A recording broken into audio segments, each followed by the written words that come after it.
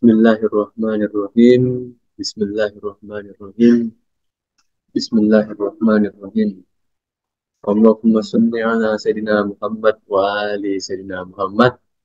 Allahumma salli ala Sayyidina Muhammad wa ali Sayyidina Muhammad.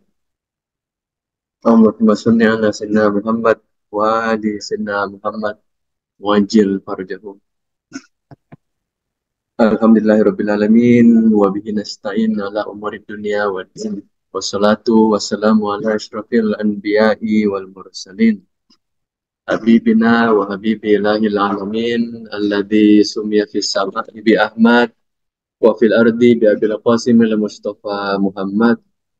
Wa ahli baiti at-tayyibin at-tahirin la siyama baqiyatillahi fi ardin arwahuna wa arwahul alamina li turabi fidah وسيدتنا فاطمة الزهراء ومولاتنا خديجة الكبرى وجميع أهل بيت النبوة ومأدن الرسالة وأنبياء الله ورسله وملائكته الصديقين والشهداء والصالحين وحسن أولئك رفيقا السلام عليك أيها النبي ورحمة الله وبركاته السلام على سيدتنا فاطمة الزهراء سيدة نساء العالمين Assalamu ala ahli baitin nubuwa, assalamu ala ma'adin risalah, assalamu ala imati taibin tahirin, assalamualaikum jami'an warahmatullahi wabarakatuh.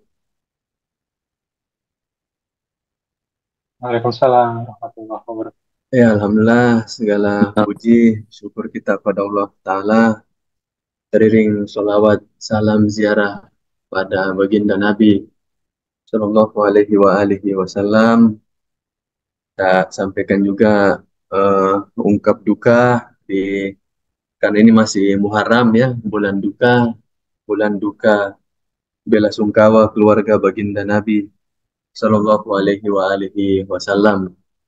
Uh, yang pertama, terima kasih kepada panitia menyelenggarakan dan kawan-kawan semua yang sudah berkenan hadir yang telah mengizinkan saya bisa bergabung pada kesempatan kali ini.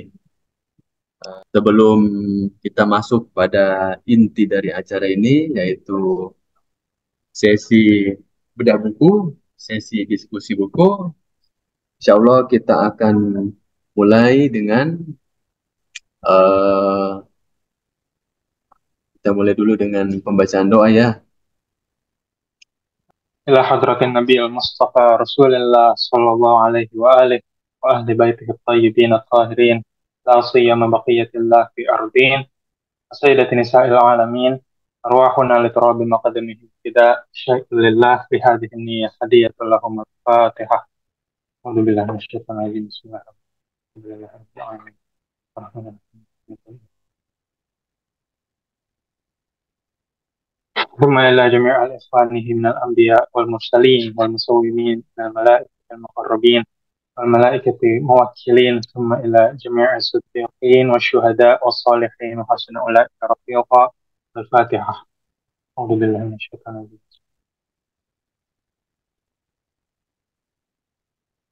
ثم إلى جميع المسلمين والمسلمات والمؤمنين والمؤمنات الأحياء منهم والأموات أخص خصوصا إلى آبائنا وأمهاتنا وجدادنا وجداتنا ومشايخنا ومشايخ مشايخنا وأسادتنا وسادة أسادتنا. وجميع الواجبة حقوق علينا الفاتحة.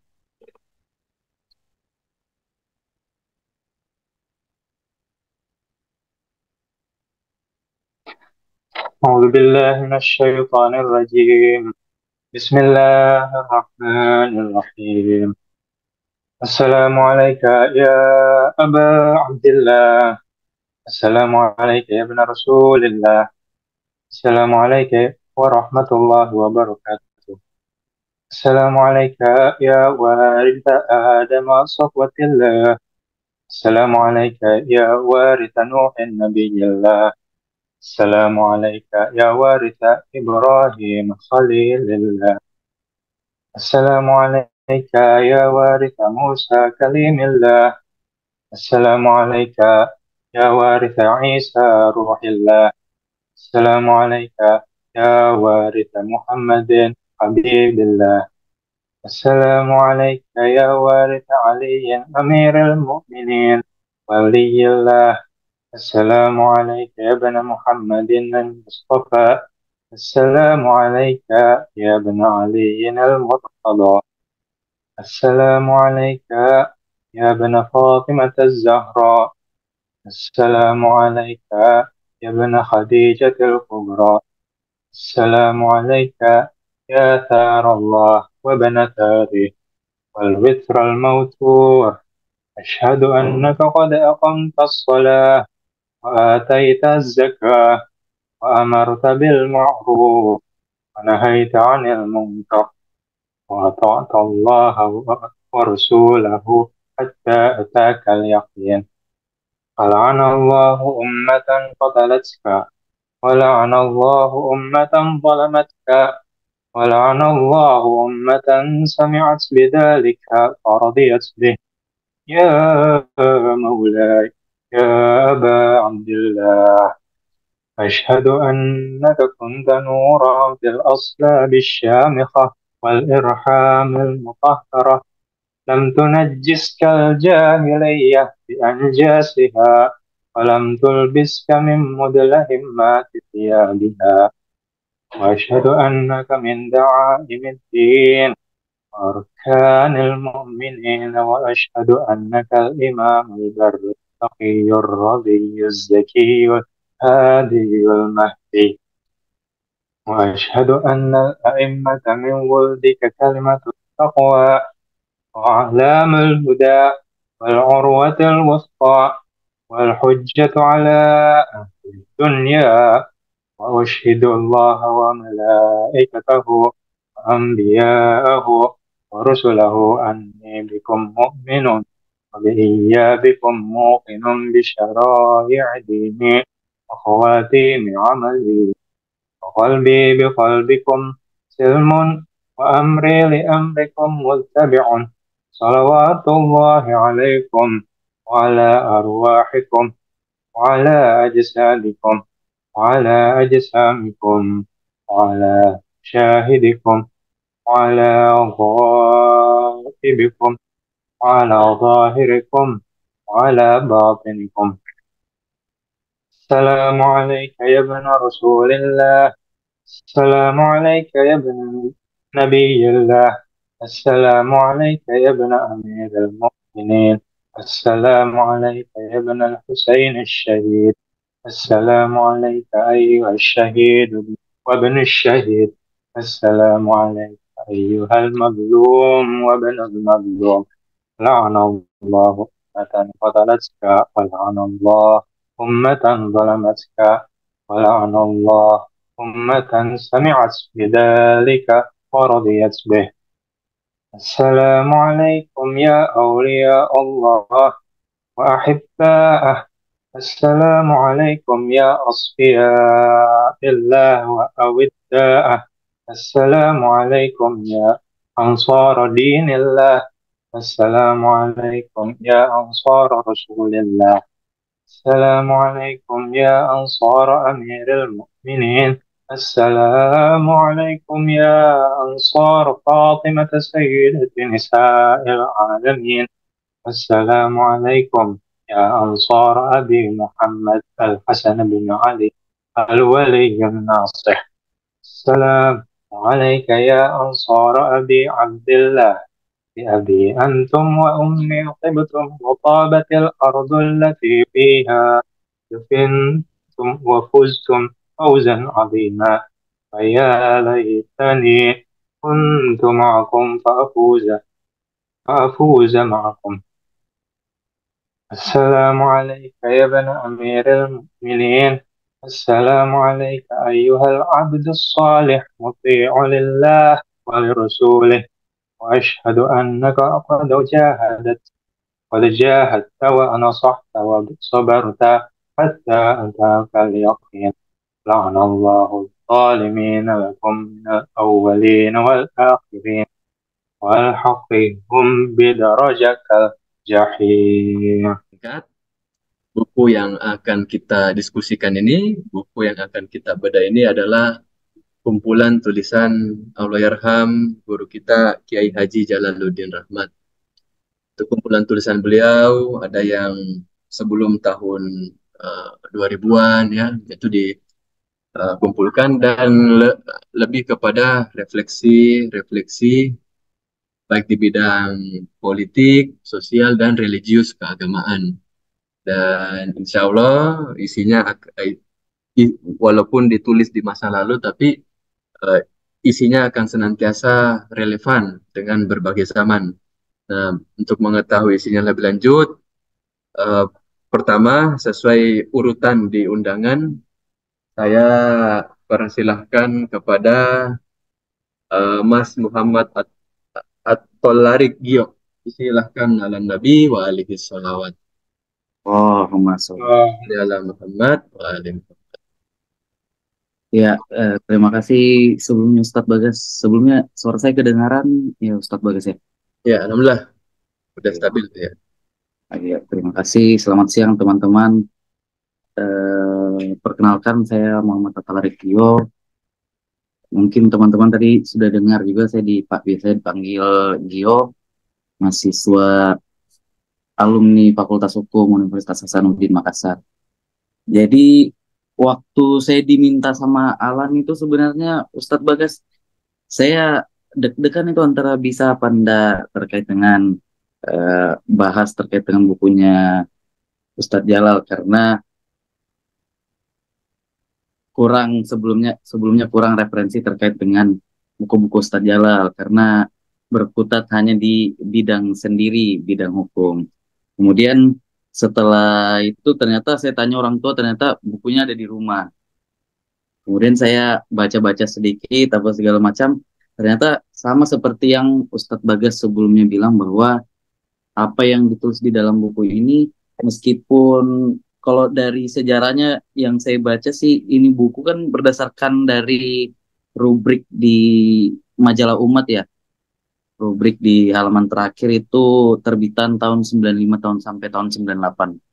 Tapi yang saya baca meskipun belum sampai habis itu masih relevan sampai sekarang.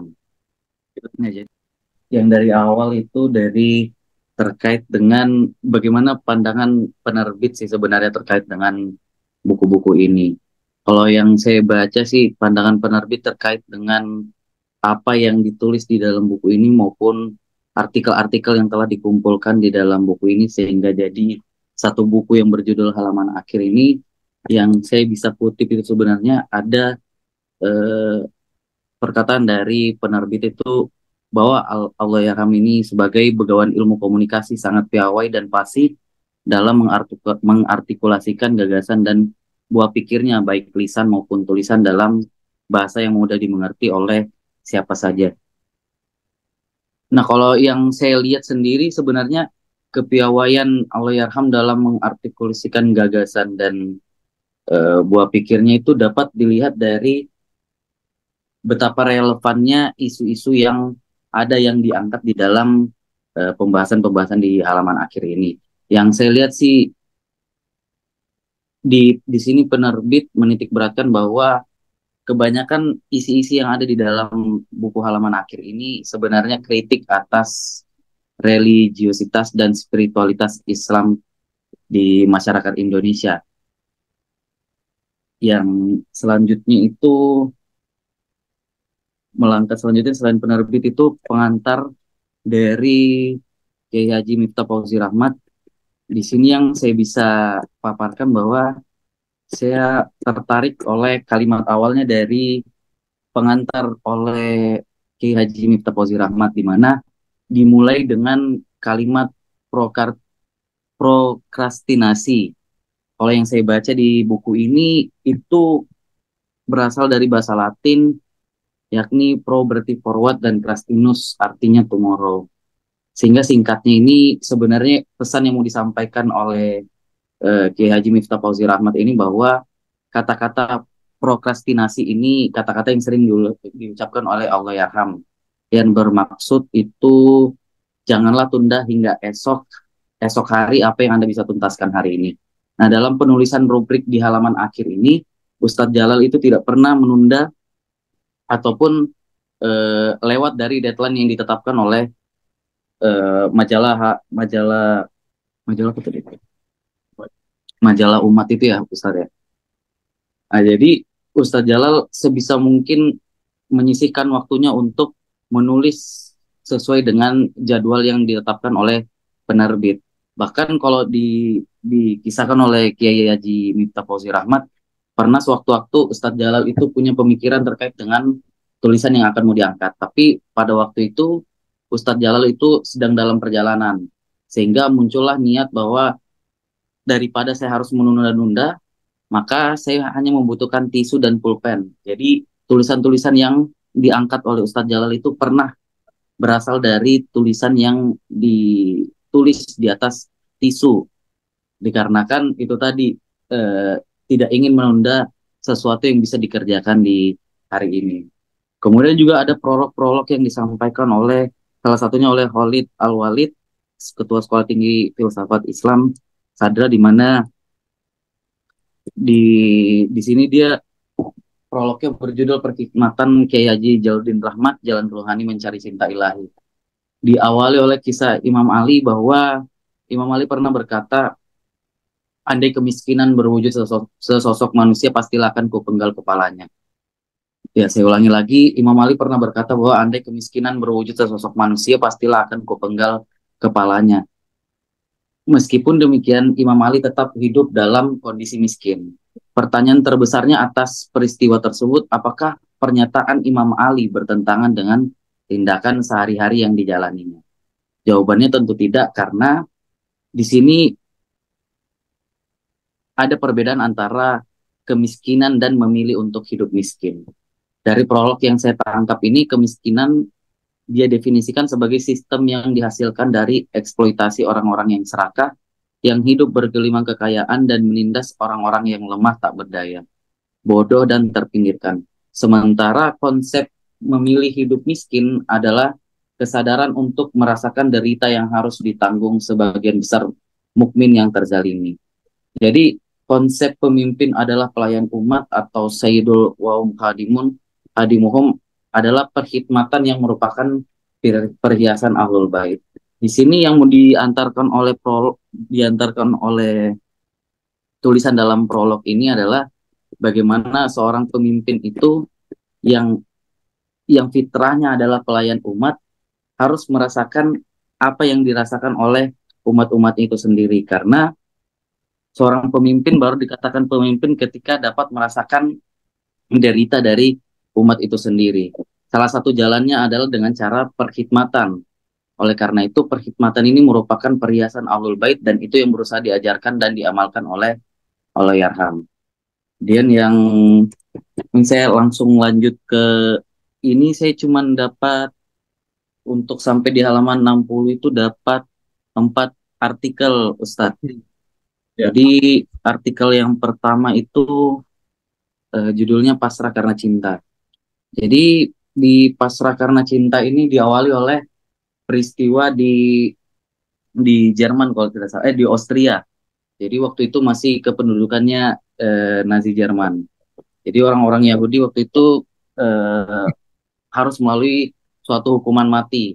Nah, ketika seseorang yang dijatuhi hukuman mati itu sudah ditetapkan tanggal waktu hukuman matinya, orang tersebut berkata bahwa amat amat sangat sayang hidup saya tidak bisa menyaksikan istri dan anakku lagi. Nah, seketika ada seseorang yang berniat untuk menggantikan dia. Nah, ketika ia menggantikan posisi seseorang yang harusnya dihukum mati itu, ketika dilaksanakan hukuman mati berupa berupa disekap di penjara bawah tanah selama dua minggu ternyata orang itu bisa bertahan Kemudian karena fitrahnya memang adalah hukuman mati, maka orang yang menggantikan tersebut akhirnya dipaksa untuk tersuntik mati. Nah, yang menjadi pertanyaan adalah kenapa seseorang tersebut yang menggantikan uh, orang yang harusnya dihukum mati itu dapat bertahan selama dua minggu. Dari dari buku ini saya saya dapatkan Ustadz bahwa yang yang menguatkan orang tersebut hingga bisa tahan selama dua minggu adalah kecintaannya kepada Tuhan. Nah, kalau kita berkaca pada Islam yang berarti pasrah atau berserah diri kepada Tuhan, nah di dalam buku ini saya menangkapnya ada empat tangga menuju kepasrahan itu sendiri. Jadi untuk kepasrahan yang pertama itu adalah pasrah yang paling bawah mengharapkan pahala ganjaran atau dan pamrih. Jadi di sini manusia berbuat e, berpasrah diri kepada Tuhan berbuat baik hanya untuk mengharap uh, mengharap apa namanya mengharap pahala ganjaran atau pamrih. Yang kedua tingkatannya itu adalah pasrahkan takut siksaan hukum dan kekuasaannya. Yang saya pahami di sini Ustadz mungkin terkait dengan siksaan di hari akhir nanti. Dan yang ketiga adalah pasrah karena tuntutan akal. Ini sebenarnya dikembangkan oleh para para filsuf karena para filsuf beranggapan bahwa tidak ada agama buat orang yang tidak berakal. Nah, yang paling tinggi adalah tingkatan pasrah karena cinta. Saya di sini kutip ceritanya dari salah satu sufi yang bernama Zunnun Ustadz. Di dalam bukunya itu pasrah karena cinta ini kenapa paling tinggi karena dia mengutip salah satu kata yaitu tidaklah mencintai kami secara sejati orang yang masih mengharapkan kecintaan selain kami. Jadi perwujudan dari pasrah karena cinta ini adalah melepas embel-embel duniawi dan fokus hanya kepada pasar kepada Tuhan itu sendiri, Ustaz. Yang kedua ada artikel yang berjudul Berlaku Adil dalam Beragama.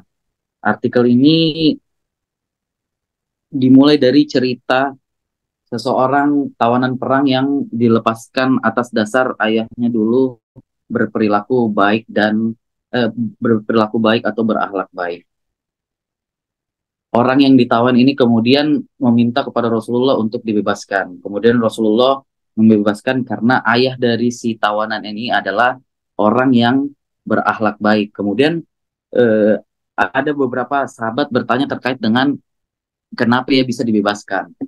Nah, ia dibebaskan karena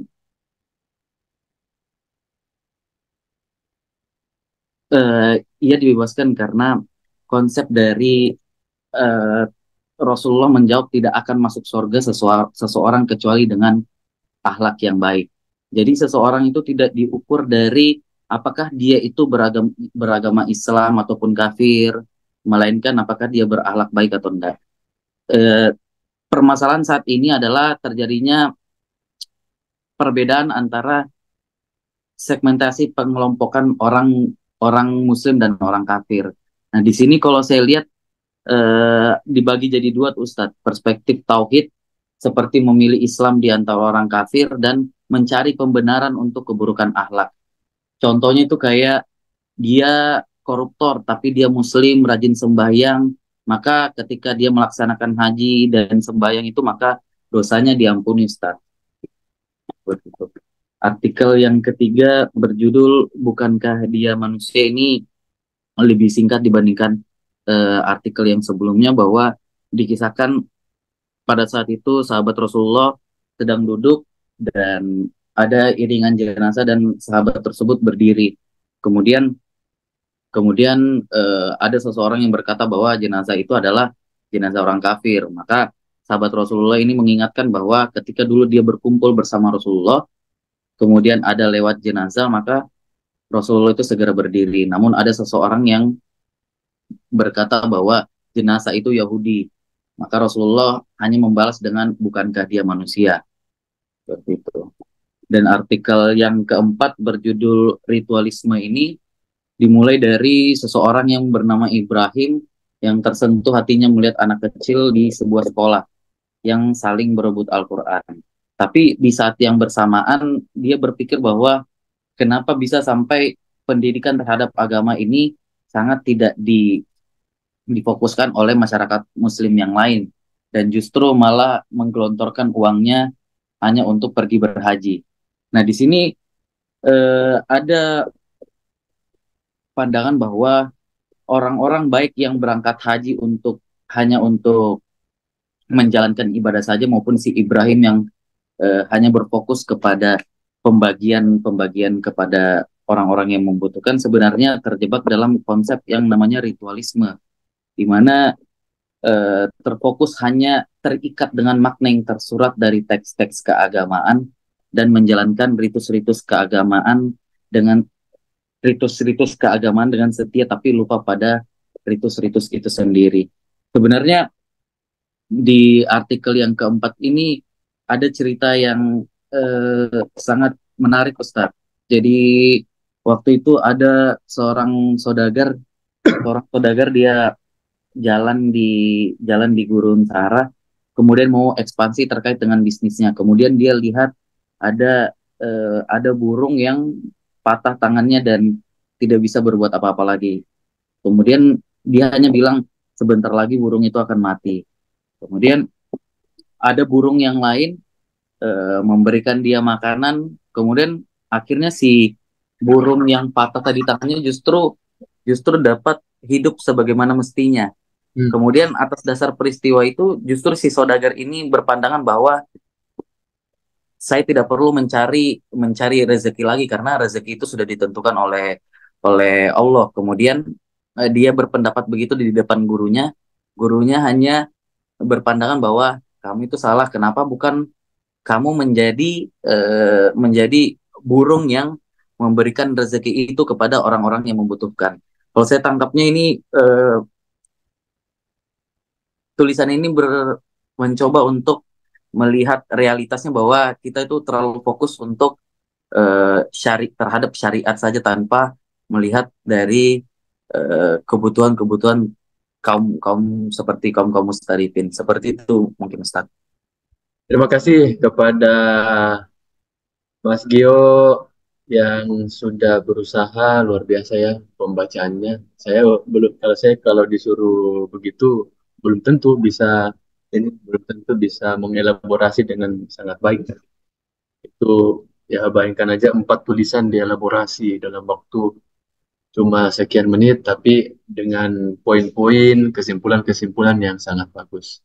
Baik, selanjutnya kita kepada Mbak Ocha. Silakan menyampaikan hasil dari yang sudah dibaca, dipelajari.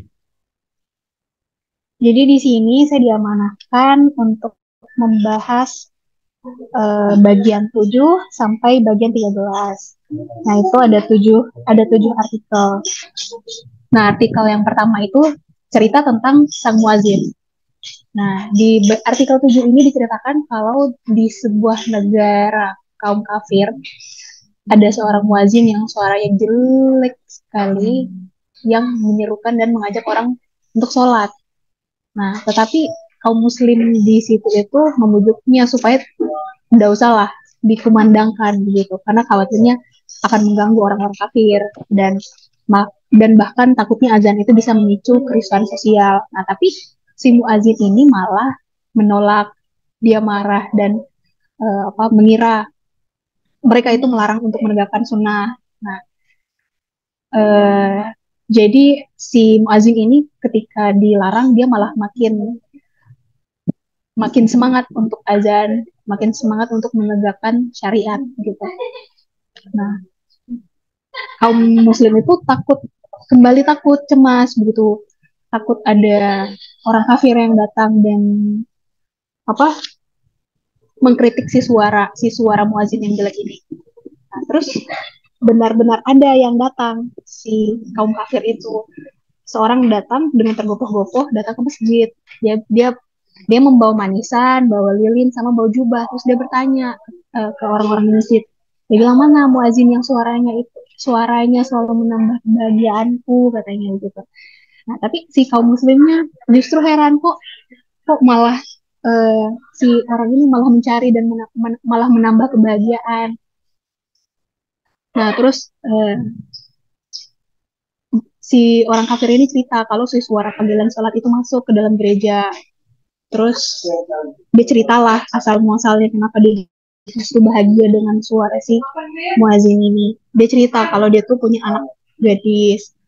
Nah, si anak gadisnya ini mau menikah dengan seorang mukmin. Nah, dia justru takut keimanan si anak perempuan itu akan terbawa justru ke dalam agama Islam. Nah, karena kejadian itu, ketakutan, si si bapak ini jadi ketakutan dan tidak bisa tidur dengan tenang. Dia dia takut kalau si anak perempuannya itu akan meninggalkan agamanya. Nah, dia dia, dia tidak bagaimana caranya terus uh, mengatasi mas ini. Sampai akhirnya si anak perempuan ini mendengar suara muazin itu.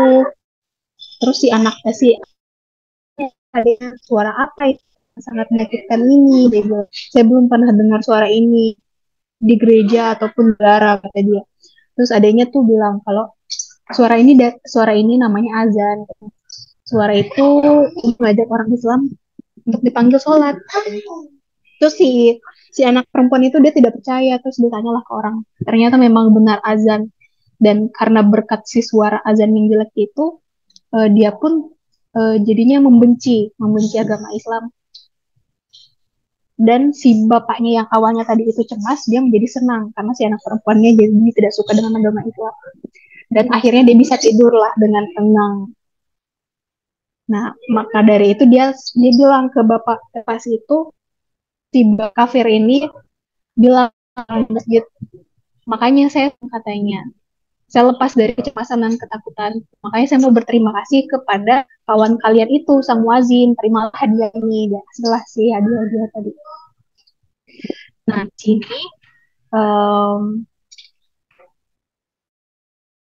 itu bahwa dan bisa dikutip dari Rumi juga kalau uh, kita umat Islam itu sebaiknya menampilkan wajah yang Islam yang merdu, bukan yang keras dan menakutkan. Jadi kita dapat menegakkan ajaran ajaran Islam itu dengan cara yang indah.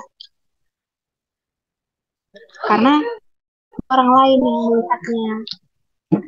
Terus Muhammad Abdul juga mengatakan bahwa uh, Islam itu justru tertutup dengan orang-orang Islam sendiri karena uh, lebih iya jadi Islam itu tertutup oleh orang-orang Islam sendiri syariat Islam itu tertutup dengan orang-orang Islam yang mengamalkan ajaran Islam itu sendiri. Nah, di sini Jalal itu mau mengajarkan, mengajak kita berpikir apakah perlu begitu suara azan nih. Uh, suara azan itu di, dikumandangkan dengan sedemikian rupa, apalagi mereka negara kontak oh, dari artikel Sang Wazin bagian 7. Nah, untuk bagian 8 saya skip, saya langsung ke artikel yang ke-9. Artikel 9 itu tentang gila yang sebenarnya. Jadi di buku ini itu dimulai dari suatu ketika Rasulullah itu melewati sekelompok orang yang sedang kalian berkumpul di sini terus para sahabat itu menjawab ya Rasulullah ini ada orang gila dia bilang sedang mengamuk. Nah makanya kita berkumpul di sini. Terus uh, Rasulullah itu bilang kalau orang ini bukan orang gila katanya. Dia sedang mendapat musibah. Terus tahukah kalian siapakah orang gila yang sebenar-benarnya? Jadi al majnun al akul majnun katanya kata Rasulullah terus para sahabat menjawab itu tidak ya Rasulullah terus Rasulullah itu menjelaskan bahwa orang gila itu ialah orang yang berjalan dengan sombong memandang orang lain dengan pandangan yang merendahkan yang mengusungkan dada dan mengharapkan surga Tuhan sambil berbuat maksiat. Yang kejelekannya itu membuat orang lain tidak aman dan kebaikannya itu tidak pernah diharapkan. Nah, itulah gila yang sebenarnya. Adapun orang gila yang sedang dilihat uh, para sahabat ini adalah dia adalah seorang yang hanya mendapatkan musibah saja gitu. Rasulullah itu mengatakan bahwa uh, Nabi Nabi itu menyuruh kita untuk melihat orang yang seperti itu perlu dibantu. Jadi orang orang yang sakit, kalau istilah Rasulullah itu mereka yang sakit yang sudah mendapat musibah itu patut kita bantu. Ia bukan majnun, dia bukan gila, tetapi dia mubtala. Nah, kita harus meringankan deritanya dan memberikan jalan keluar dari bala yang mengenainya. Ia bukan orang yang tertutup akalnya, ia hanyalah orang yang hancur hatinya. Terus Rasulullah bilang, bukankah Tuhan berkata, carilah aku di tengah-tengah orang yang hancur hatinya.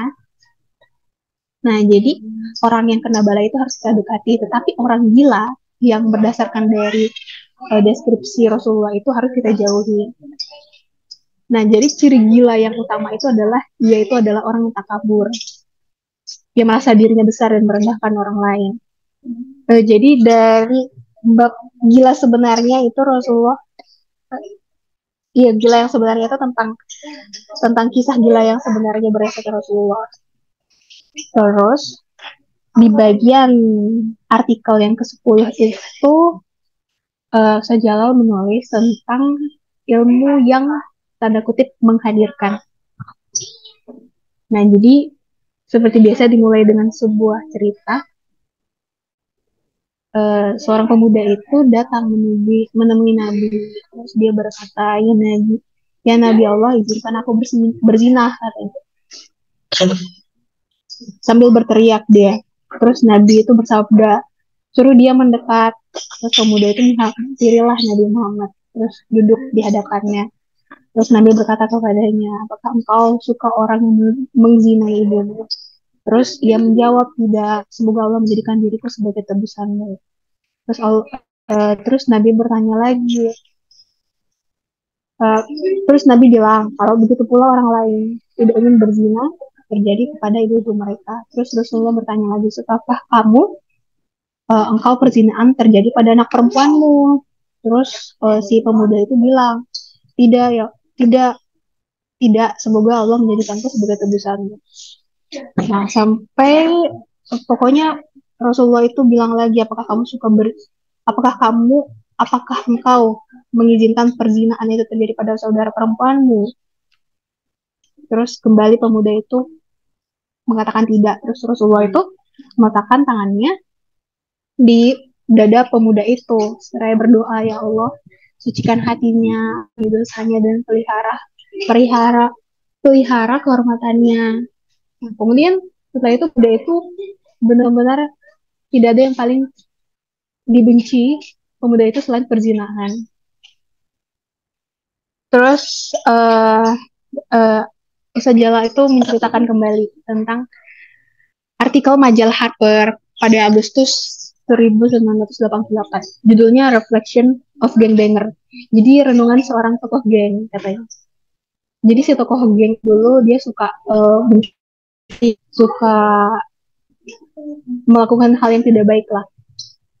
Terus kemudian um, ketika si si preman ini menjadi lebih tua terus dia berpikir kalau dia dia itu tidak mau apa yang dia lakukan itu terjadi oleh terjadi di ibunya dia bilang. Dia tidak mau ibunya uh, dicopet atau terjadi hal-hal yang tidak baik lah. Terus si preman ini bilang kalau saya mulai berpikir kalau saya tidak mau berbuat seperti itu lagi karena karena dia tidak mau hal-hal yang terjadi kepada ibunya.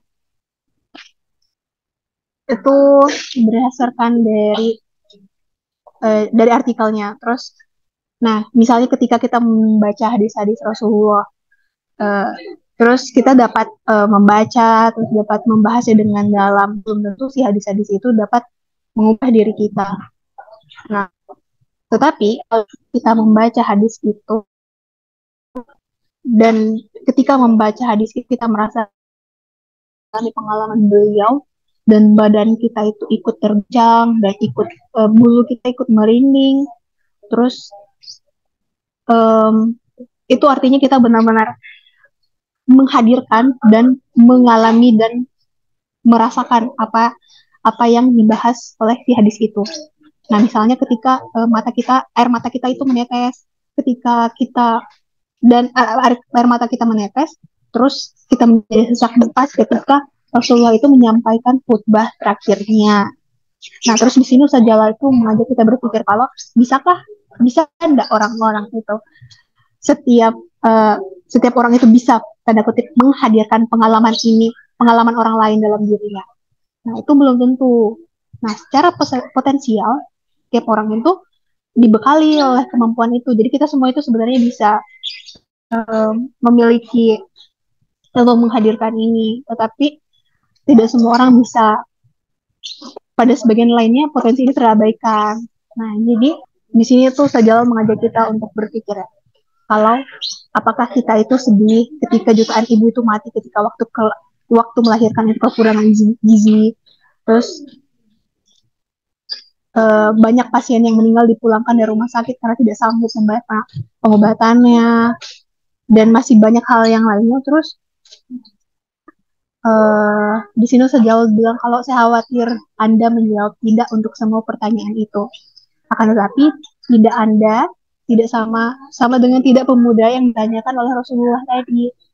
Jadi tidaknya kita itu adalah menunjukkan betapa sulitnya menghadirkan pengalaman orang lain walaupun dia itu saudara sebangsa dan setanah air. Jadi yang saya dapatkan di sini intinya adalah uh, empati yang sangat besar yang harusnya dimiliki oleh orang-orang banyak yang pada kenyataannya itu kita semua um, memiliki empati yang sangat kurang seperti itu. Oke, waktunya tinggal tiga menit. Selanjutnya itu yang paling ada artikel nomor 12 itu bagus sekali. Dia itu tentang visual tato. Nah, jadi orang Kazwin ini itu memiliki kebiasaan tubuhnya itu sebelum masuk dewasa itu di mereka datang ke tukang tato. Terus mau digambarkan, tolong gambarkan aku singa dong, singa yang garang katanya. Gambarnya yang bagus ya kata, kata si orang Kazwin ini. Terus si, si tukang tatonya tanya mau digambarkan di mana tatonya katanya. Terus dia bilang e, gambar gambar di bahuku yang bidang ini kata dia. Terus mulailah si tukang tato itu masukkan jarumnya. Terus karena tato itu sakit ya dia pakai jarum itu ditusuk-tusuk ditusuk-tusuk ke dalam kulit kita. Terus si orang ini mulai menjerit kesakitan yang kasih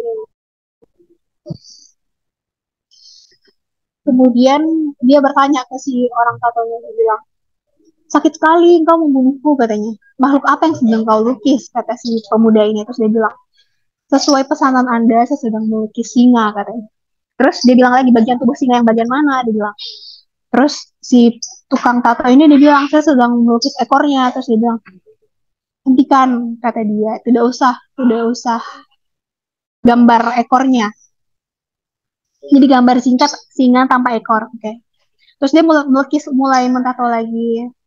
Terus si pemuda ini kesakitan lagi terus dia bilang bagian anggota terus dia bilang saya sudah melukis telinganya. Terus si orang kajun ini bilang lagi tidak usah tidak usah tidak usah pakai telinga sini sampai akhirnya dia selalu kesakitan dan si pemuda ini bilang sampai si orang tukang tatonya ini bilang kalau tidak pernah ada orang seperti ini katanya. Mana ada singa yang tanpa ekor, tanpa kepala, tanpa perut. Tuhan pun tidak menciptakan singa seperti itu. Nah, terus e, di sini itu dilanjutkan dengan kisah dari Rumi. Kalau kisah ini Rumi ini kisah ini mengajarkan bahwa e, keharusan kita untuk menerima penderitaan ketika kita harus meninggalkan ego kita. Jadi kita manusia umat Islam atau umat mana pun sebenarnya kebanyakan kita itu mau menolak e, menolak berita yang kita punya. Misalnya aduh saya tidak mau aduh skrip ini susah begitu. Aku tidak mau lah begitu. Atau misalnya kesusahan apa yang sudah kita punya. Kita kita itu kebiasaannya itu menolak. Nah sedangkan um, dari Rumi ini menderitaan kita kita harus mulai meninggalkan ego kita. Uh, mungkin cukup sekian dari saya Ustaz Bagas. Ya. Ya, sekian. Terima ya. kasih banyak Ocha ya. Uh, tadi ada beberapa kisah-kisah yang sangat-sangat ini ya sangat-sangat dalam maknanya dan nuansanya nuansa sofistik juga ya itu ya, itu satu di antara kelebihan Allah Yarham, Maha Guru kita yang bisa merelevankan kisah-kisah itu, khususnya kisah sufi, kisah sufistik dengan uh, untuk menjawab tantangan zaman, untuk menjawab berbagai persoalan. Uh, selanjutnya, yang ketiga, giliran menyampaikan materi Mbak Ilma. Silahkan Mbak Ilma. Oh ya, uh, sebelum masuk ke Mbak Ilma, uh, izin menyampaikan bahwa diskusi buku ini bukan hanya ini ya, bukan hanya membaca ulang dari apa yang sudah dibaca di buku halaman akhir ini, tapi kalau kawan-kawan juga punya refleksi, punya komentar punya tanggapan atau ingin mem memperinci beberapa poin tertentu dipersilahkan. Silahkan Mbak Ilma. Oke, Bismillahirrahmanirrahim. Assalamualaikum warahmatullahi wabarakatuh. Assalamualaikum warahmatullahi wabarakatuh. Allahumma sholli ala Muhammad wa ali Muhammad. Uh, Muhammad wa ali Muhammad. Sebelumnya mohon izin Ustadz dan Eh, Mas Alan, saya izin share screen ya dari sini. Ah, luar biasa. Silahkan. Silakan Mbak.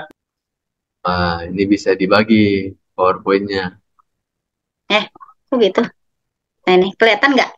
Oh, Masya Allah. Ini kayaknya sebelum disampaikan pun udah dari setahun lalu ya dipersiapkan ya. Eh, Oke, eh, Bismillahirrahmanirrahim. Jadi sebelumnya tadi saya belum sempat memperkenalkan diri ya. Nama Ya. saya Ilma, eh, domisili saya di Bandung. Saat ini eh, saya adalah seorang full-time mother, jadi di rumah aja. Eh, tapi saya kemarin kuliah di jurusan Pendidikan Agama Islam, pasca sarjana UIN. Lalu sekarang lagi kuliah juga di eh, Ilmu Al-Quran dan Tafsir pasca sarjana UIN juga, tapi masih tesis sekarang gitu. Nah, eh, pada kesempatan hari ini saya eh, kebagian untuk mengulas bagian 14 sampai 20. Tapi di tiga bagian terakhir itu isinya tentang doa-doa saja. Jadi mungkin nanti teman-teman eh, bisa langsung membaca atau mereview sendiri bukunya atau ada di Sahifa Sajadiyah itu kayaknya doa-doanya. Nah, yang pertama ini bagian 14 ya. Bagian 14 itu eh, Kiai Haji Jaldi Rahmat, beliau membahas tentang mana kematian, yang mana di awal tuh eh, beliau menceritakan tentang kenapa sih kematian tokoh-tokoh di dunia seperti eh, Lady Diana gitu ya, itu semua orang pada menangis gitu kan. Pokoknya ada berkabung di mana-mana kayak gitu ya. Tapi setiap hari ada puluhan, ratusan, mungkin ribuan ibu-ibu yang eh, apa meninggal karena melahirkan gitu kan ada ratusan ribuan anak-anak yang meninggal karena penyakit gitu karena sakit. Nggak ada yang menangisi gitu atau nggak ada eh, yang hatinya itu terketuk untuk menangis gitu. Apakah nyawa seorang itu beda-beda gitu kan? Yang satu mah berharga gitu yang satu enggak gitu kan? Nah terus eh, beliau menyimpulkan dari berbagai cerita-cerita dan tentunya berbagai riset. Ini mungkin yang yang selalu khas dari setiap setiap buku setiap artikel yang uh, Allah Yarham tulis ya, itu beliau selalu mengawali dengan riset-riset gitu ya. Nah, beliau menyimpulkan bahwa uh, tangisan kita atau ya tangisan kebanyakan dari kita untuk orang lain itu ternyata gak ditentukan oleh uh, berapa penting orang tersebut, tapi ditentukan bagaimana kesadaran kita terhadap orang tersebut gitu. Jadi kalau kita nggak tahu bahkan nggak sadar, ya gimana kita akan menangis gitu. Sulit sulit untuk kita menangis gitu. Maka di sini uh, Allah Yaham mengutip perkataan para sufi, matilah sebelum kalian mati gitu. Mata kobla anamutu gitu. Sebagaimana yang yang uh, Imam Ali selalu bilang kita harus mer uh, selalu merasakan kematian gitu di setiap uh, hembusan nafas kita. Nah, uh, beliau juga di sini mengutip sebuah hadis yang berkata bahwa uh, ada dua jenis kematian. Yang pertama, kematian yang membuat uh, dirinya yang beristirahat, kemudian kedua kematian yang membuat orang lain yang beristirahat, seperti yang kemarin terjadi uh, kematian Presiden Iran ya, itu membuat kita semua berefleksi. Presiden aja yang penjagaannya udah sekian ketat gitu kan, terus pasti kesehatannya dijaga segala macam, bisa seperti itu apalagi kita kayak gitu ya. Nah, kemudian ini eh, bagian ke 15. Nah, bagian ke-15 itu Allah Yarham membuat satu artikel berjudul Ihwal Tobat Nasional. Jadi di sini eh, beliau tuh awalnya bercerita tentang orang-orang yang berkumpul untuk meminta hujan gitu kan. Nah, tapi setelah yang mimpinnya orang hebat gitu kan, yang berdoa-berdoa orang hebat, tapi kok nggak hujan-hujan gitu. Nah, ternyata ada beberapa hal yang yang perlu direfleksikan dari dari sebuah doa gitu sebelum kita bertaubat. Nah, di sini e, beliau mengatakan bahwa tobat nasional itu artinya kita harus e, mengembalikan bangsa ini ke jalan yang lurus, yaitu e, meninggalkan perilaku berbangsa dari perilaku-perilaku yang dimurkai oleh Allah Subhanahu wa taala. Nah, untuk taubat itu sendiri Allah Yarham itu e, mencantumkan dua tahapan di sini. Yang pertama yaitu kita tuh harus mengingat-ingat dulu dosa-dosa apa aja yang yang kita lakukan gitu. Soalnya kadang kita uh, minta maaf tapi gak tahu gitu kita salah apa. Nah itu diinget-inget dulu tuh uh, dosa-dosa atau kesalahan apa aja yang kita udah lakukan.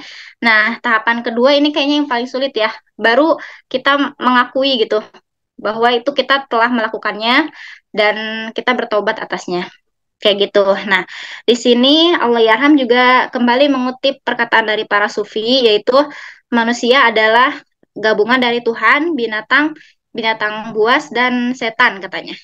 Nah, eh, adapun refleksi dari Tuhan yaitu tadi eh, adanya keinginan untuk bertaubat gitu. Nah, kemudian eh, refleksi dari binatang yaitu adanya kesombongan secara lahiriah. Nah, adapun refleksi dari syaitan itu uh, adanya pembenaran atas kesalahan-kesalahan yang dilakukan gitu.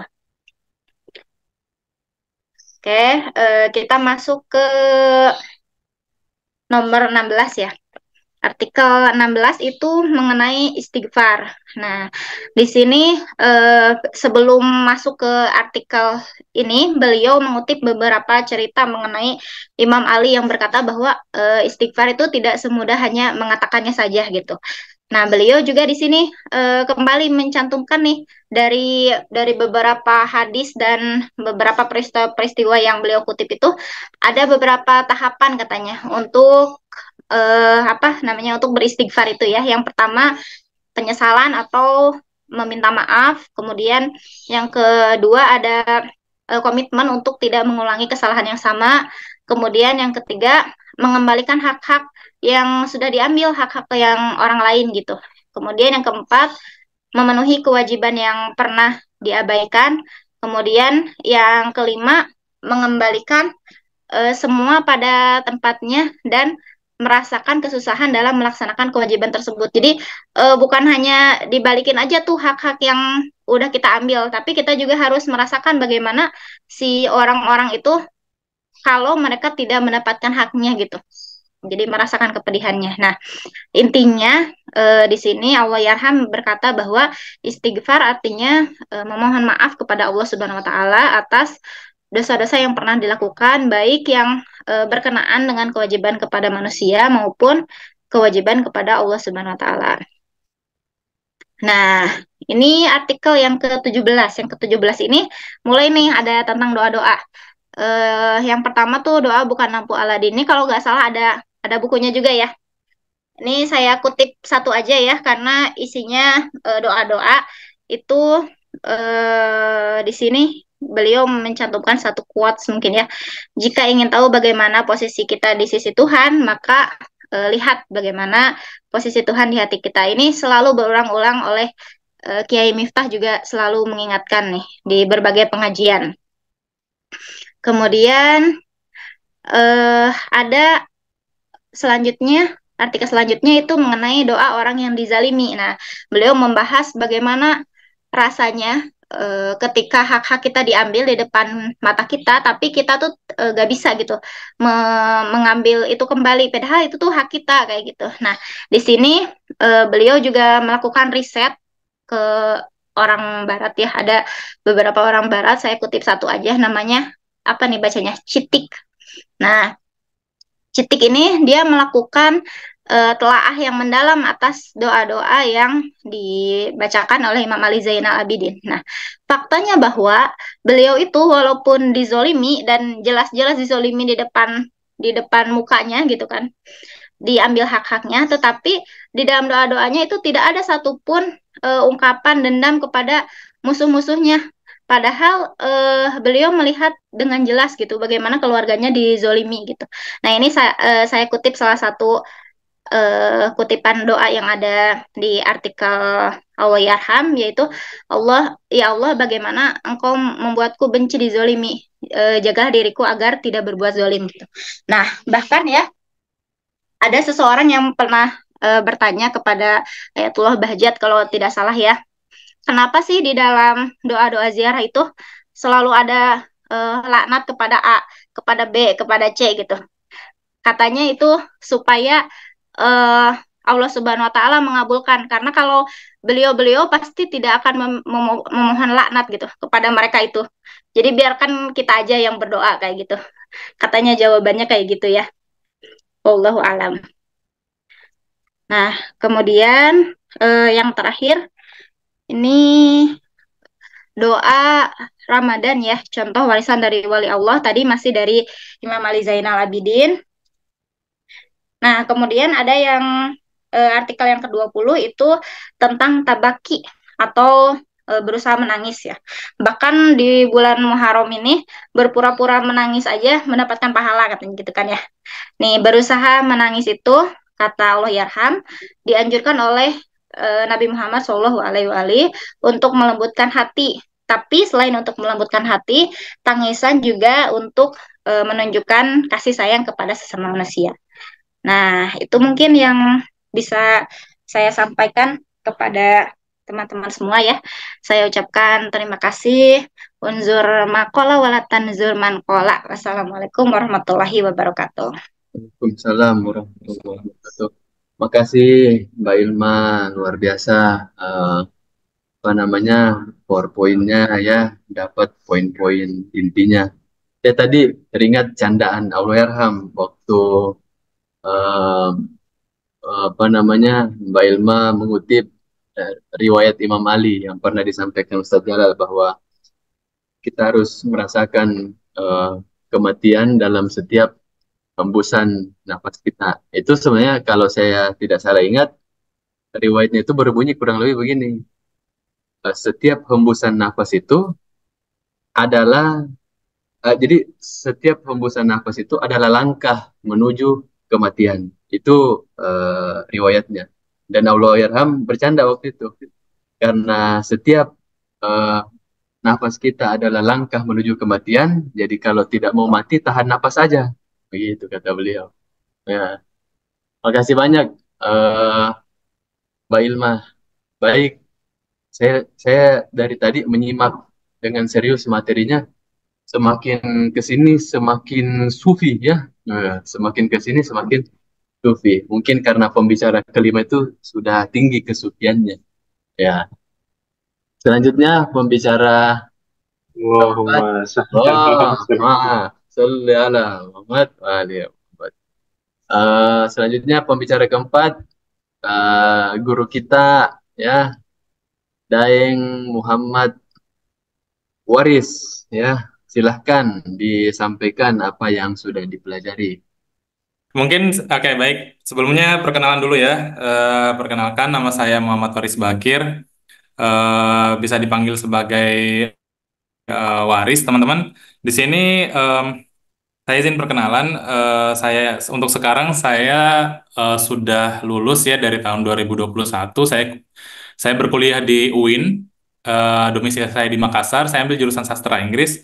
Untuk sekarang saya rencana untuk mengambil lanjut studi S2 di bagian pendidikan, fokusnya bagian pendidikan. Uh, tapi untuk sementara proses masuk itu nanti insya Allah bulan Desember, eh bulan uh, September, saya mengambil freelance sebagai penerjemah jurnal.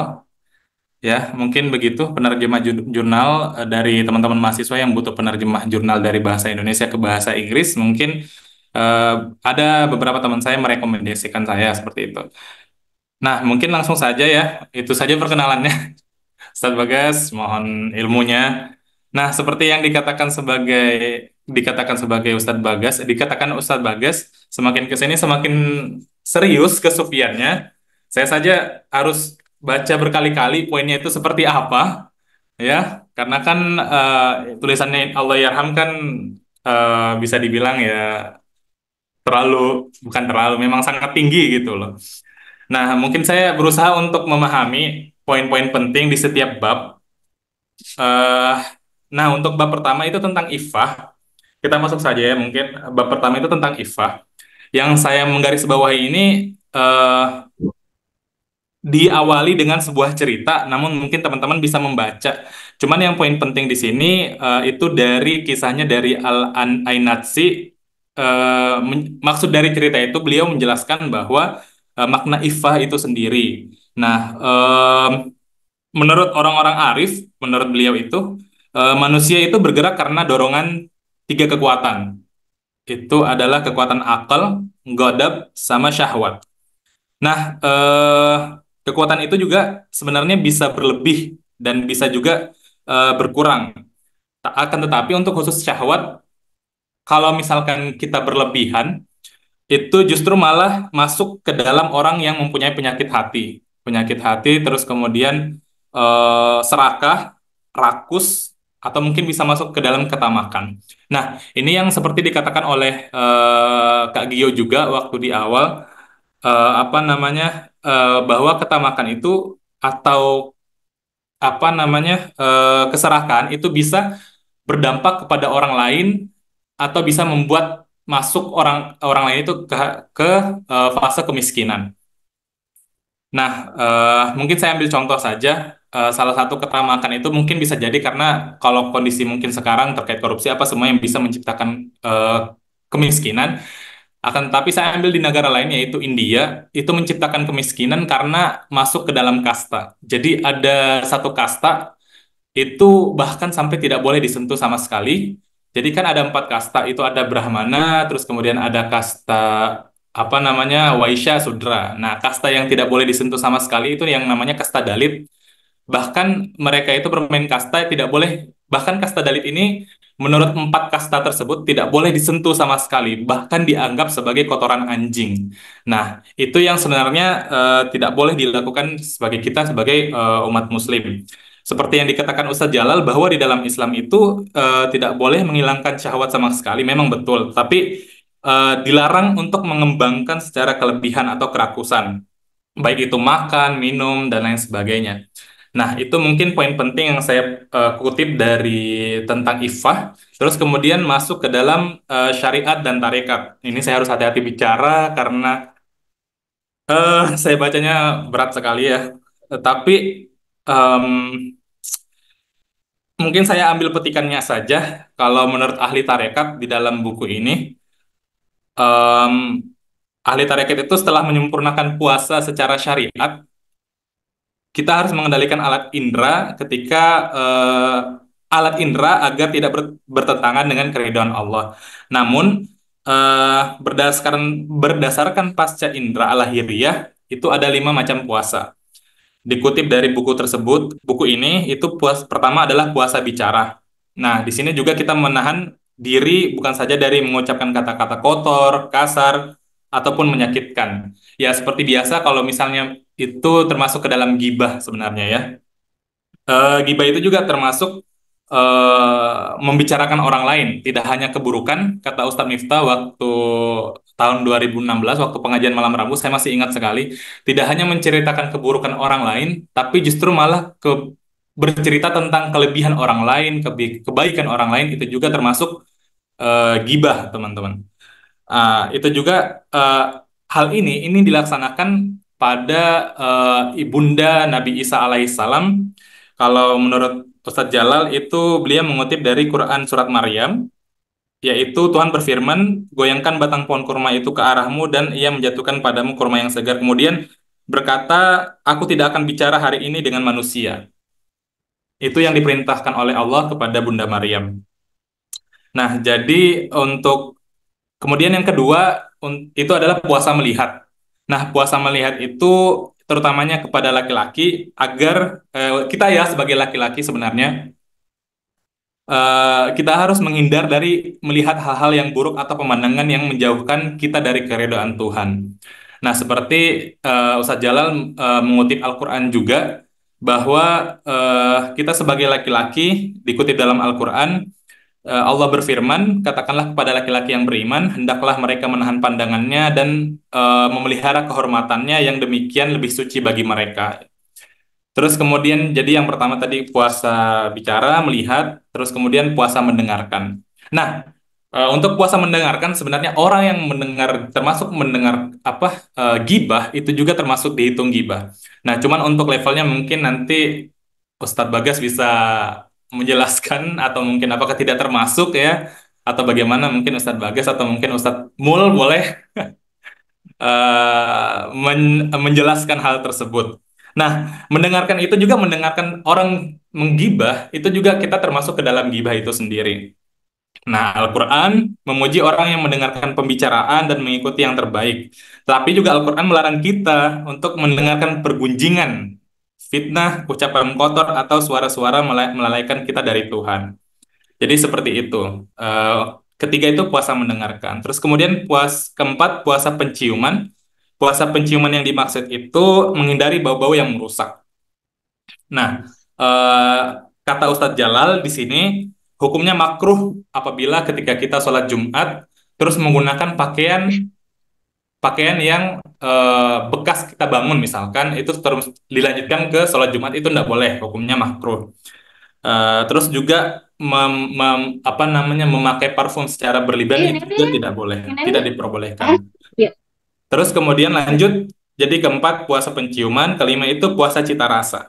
Nah uh, di sini kita membatasi asumsi menghindari upaya mengejar mengejar kenikmatan makanan dan minuman uh, seperti yang saya bilang sebelumnya bahwa uh, sesuatu yang berlebihan itu tidak diperbolehkan menurut uh, buku tersebut. Buku ini maksud saya ya. Nah, uh, seperti juga uh, Ustadz Jalal itu Allah yarham mengutip Al-Qur'an juga di uh, surat Al-A'raf surat ke-7 ayat 31 bahwa sesungguhnya Allah tidak suka kepada orang yang berlebih-lebihan.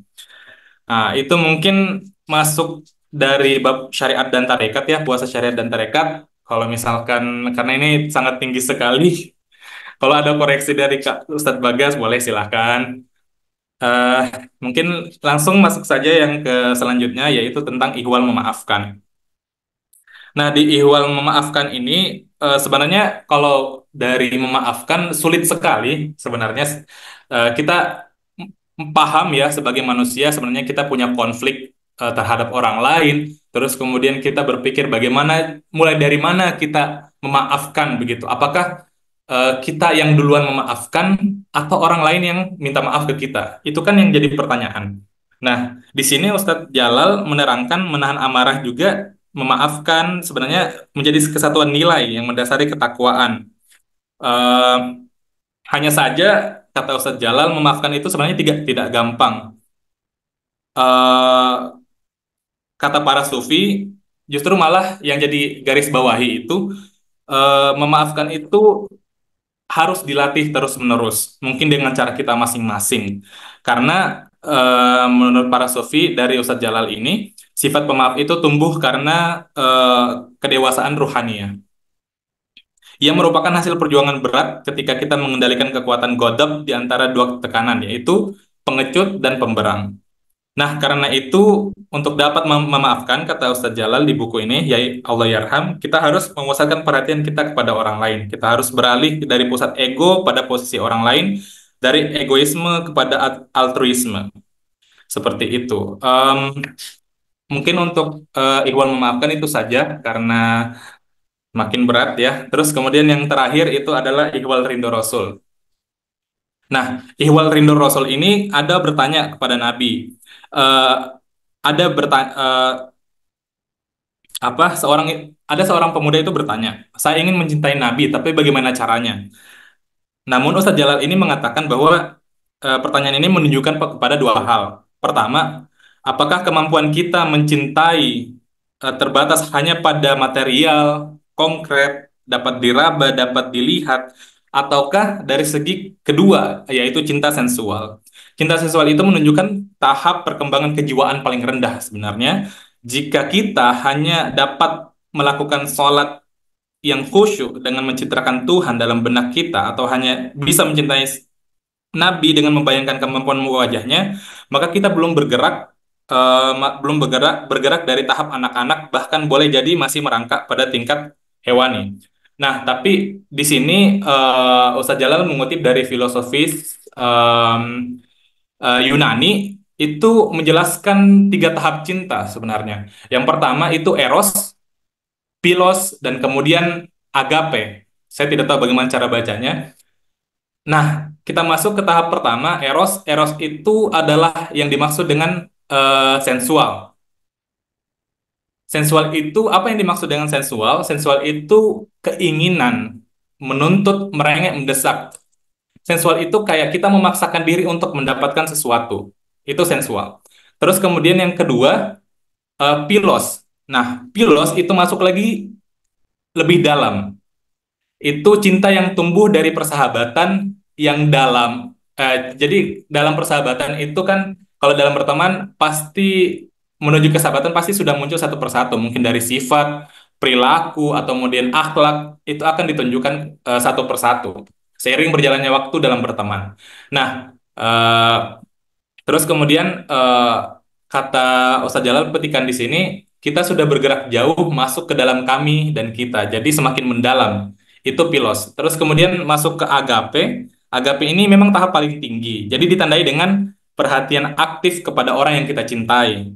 Uh, keinginan untuk diterima sisinya misalkan atau kedambaan untuk memberikan segalanya tanpa syarat kepada sang kekasih. Nah, ini yang muda-muda sebenarnya. Nah, agape, nah agape ini adalah cinta spiritual yang sudah jauh menyelam dari daratan badaniah menuju ke dalam ruhaniah. Yang jadi pertanyaan, pada tingkat manakah mau kita letakkan kecintaan kita kepada Rasul, kepada Nabi Shallallahu Alaihi Wasallam? Tentu saja kata Ustadz Jalal itu tidak pada tingkat erotis, karena mana mungkin kecintaan kita kepada beliau kita samakan dengan kecintaan kita kepada egoisme. Nah, uh, kata Ustadz Jalal terakhir dari yang terakhir, uh, untuk mencintai Nabi yang harus kita bayangkan bukan dari fisiknya, tapi dari keagungan kepribadiannya. Yang pertama yang dilakukan, kata Ustaz Jala, ya Allah yarham, gerakanlah diri kita dari eros ke pilos. Terus kemudian belajar menggabungkan menggabungkan diri kita secara rohaninya dengan Rasulullah Shallallahu Alaihi Wasallam, para nabi dan orang-orang soleh. Seperti kata uh, kemudian uh, Ustaz Allah yarham itu mengutip dari surat An-Nisa, uh, Allah berfirman, Auzubillahi minasyaitonirrajim, uh, Barang siapa menaati Allah dan Rasul, maka ia akan bersama orang-orang yang telah Allah berikan kenikmatan kepada mereka, yakni para nabi, orang-orang benar, syuhada, orang-orang soleh. Alangkah bagusnya bergabung bersama mereka. Akhirnya, kita harus perhatikan bagaimana Al-Quran menggambarkan nabi kepada kita. Telah datang pada kalian seorang Rasul di antara kalian, berat baginya apa apa yang kalian derita, sangat ingin agar kalian peroleh kebahagiaan uh, ia sangat pengasih dan penyayang kepada orang-orang yang beriman. Nah, mungkin itu saja dari saya. Uh, mohon maaf mungkin bila ada kesalahan Ustadz Bagas atau Ustadz uh, Mulyawan. Kalau Ustadz Bagas ada kasih masukan atau mungkin ada penambahan atau bagaimana terkait pemahaman yang saya pahami, mungkin uh, itu saja Ustadz Bagas. Terima kasih. Alhamdulillah. Terima kasih banyak atas pemaparan materinya. Uh, kata waris tadi katanya berat, gitu. Berarti yang pembicara kelima semakin berat materinya. Nah, nanti kita uh, dengar apa yang berat-berat itu dari yang narasumber kelima ya, Muhammad Ferozi Israki. Silakan dan Nabi wa alihi salawat. Allahumma salli ala Muhammad wa ali Muhammad. Terima kasih Ustadz Bagas, guru kita semua. Bismillahirrahmanirrahim. Assalamualaikum warahmatullahi wabarakatuh dan selamat siang, mungkin menjelang sore untuk teman-teman yang di wilayah timur dan sekitarnya. Mungkin untuk yang baru bergabung, mohon izin saya kembali perkenalan singkat. Uh, saya Muhammad Perozi Ishraki, biasa dipanggil Perozi atau biasa dipanggil Pei. Asal dari Makassar, saat ini juga domisili di Makassar. Kebetulan uh, sedang berada di tahun terakhir, insya Allah di Fakultas Kedokteran Universitas Hasanuddin. Uh, sama seperti guru-guru kita sebelumnya, para narasumber lainnya, saya juga diajak oleh uh, Kak Alan, oleh Ustadz Bagas untuk sedikit sharing ke teman-teman sekalian hasil bacaan uh, buku Mahaguru kita Allahyarham uh, Ustadz Jaludin Rahmat. Uh, mungkin mohon izin share screen teman-teman sekalian. Jadi di sini kebetulan saya dibagi uh, diberikan bagian 28 sampai 34 kebetulan bab akhir dari buku ini. Uh, jadi akan ada kurang lebih sekitar tujuh pembahasan yang insya Allah akan kita bahas secara singkat dan lugas Uh, jadi ada bagian 28 kita mulai dari modus menjadi, kemudian kita lanjut ke malamatiyah, kemudian ada bagian surat Ibnu Arabi, sudusufisme, membalik pop, kultus martir, dan ditutup oleh bab fundamentalis versus modernis. Uh, baik, untuk yang pertama yaitu modus menjadi, pembahasan yang pertama kita adalah uh, kita harus kenali dulu apa itu modus menjadi. Nah, sebetulnya cara yang paling mudah untuk mengenali apa itu, untuk memahami apa itu modus menjadi atau being mode, itu kita coba bandingkan dulu dengan lawannya atau yang biasa disebut modus memiliki atau having mode. Nah, jadi perbedaan paling mendasar dari being mode dan juga having mode adalah pertama, uh, being mode atau modus menjadi ini, kebahagiaan kita itu terletak pada manfaat dari sesuatu yang kita miliki. Sedangkan kalau having mode itu kebahagiaan kita terletak semata-mata pada kepemilikan kita terhadap barang tersebut saja. Nah, di buku ini Allah Yarham uh, mengutip sebuah kisah dari Abu Said Abu Khair. Abu Said Abu Khair ini adalah seorang uh, penyair asal Persia yang belakangan juga dikenal sebagai seorang sufi. Jadi di awal bab ini uh, dikisahkan beliau itu sedang berada di sebuah kamar mandi sewaan.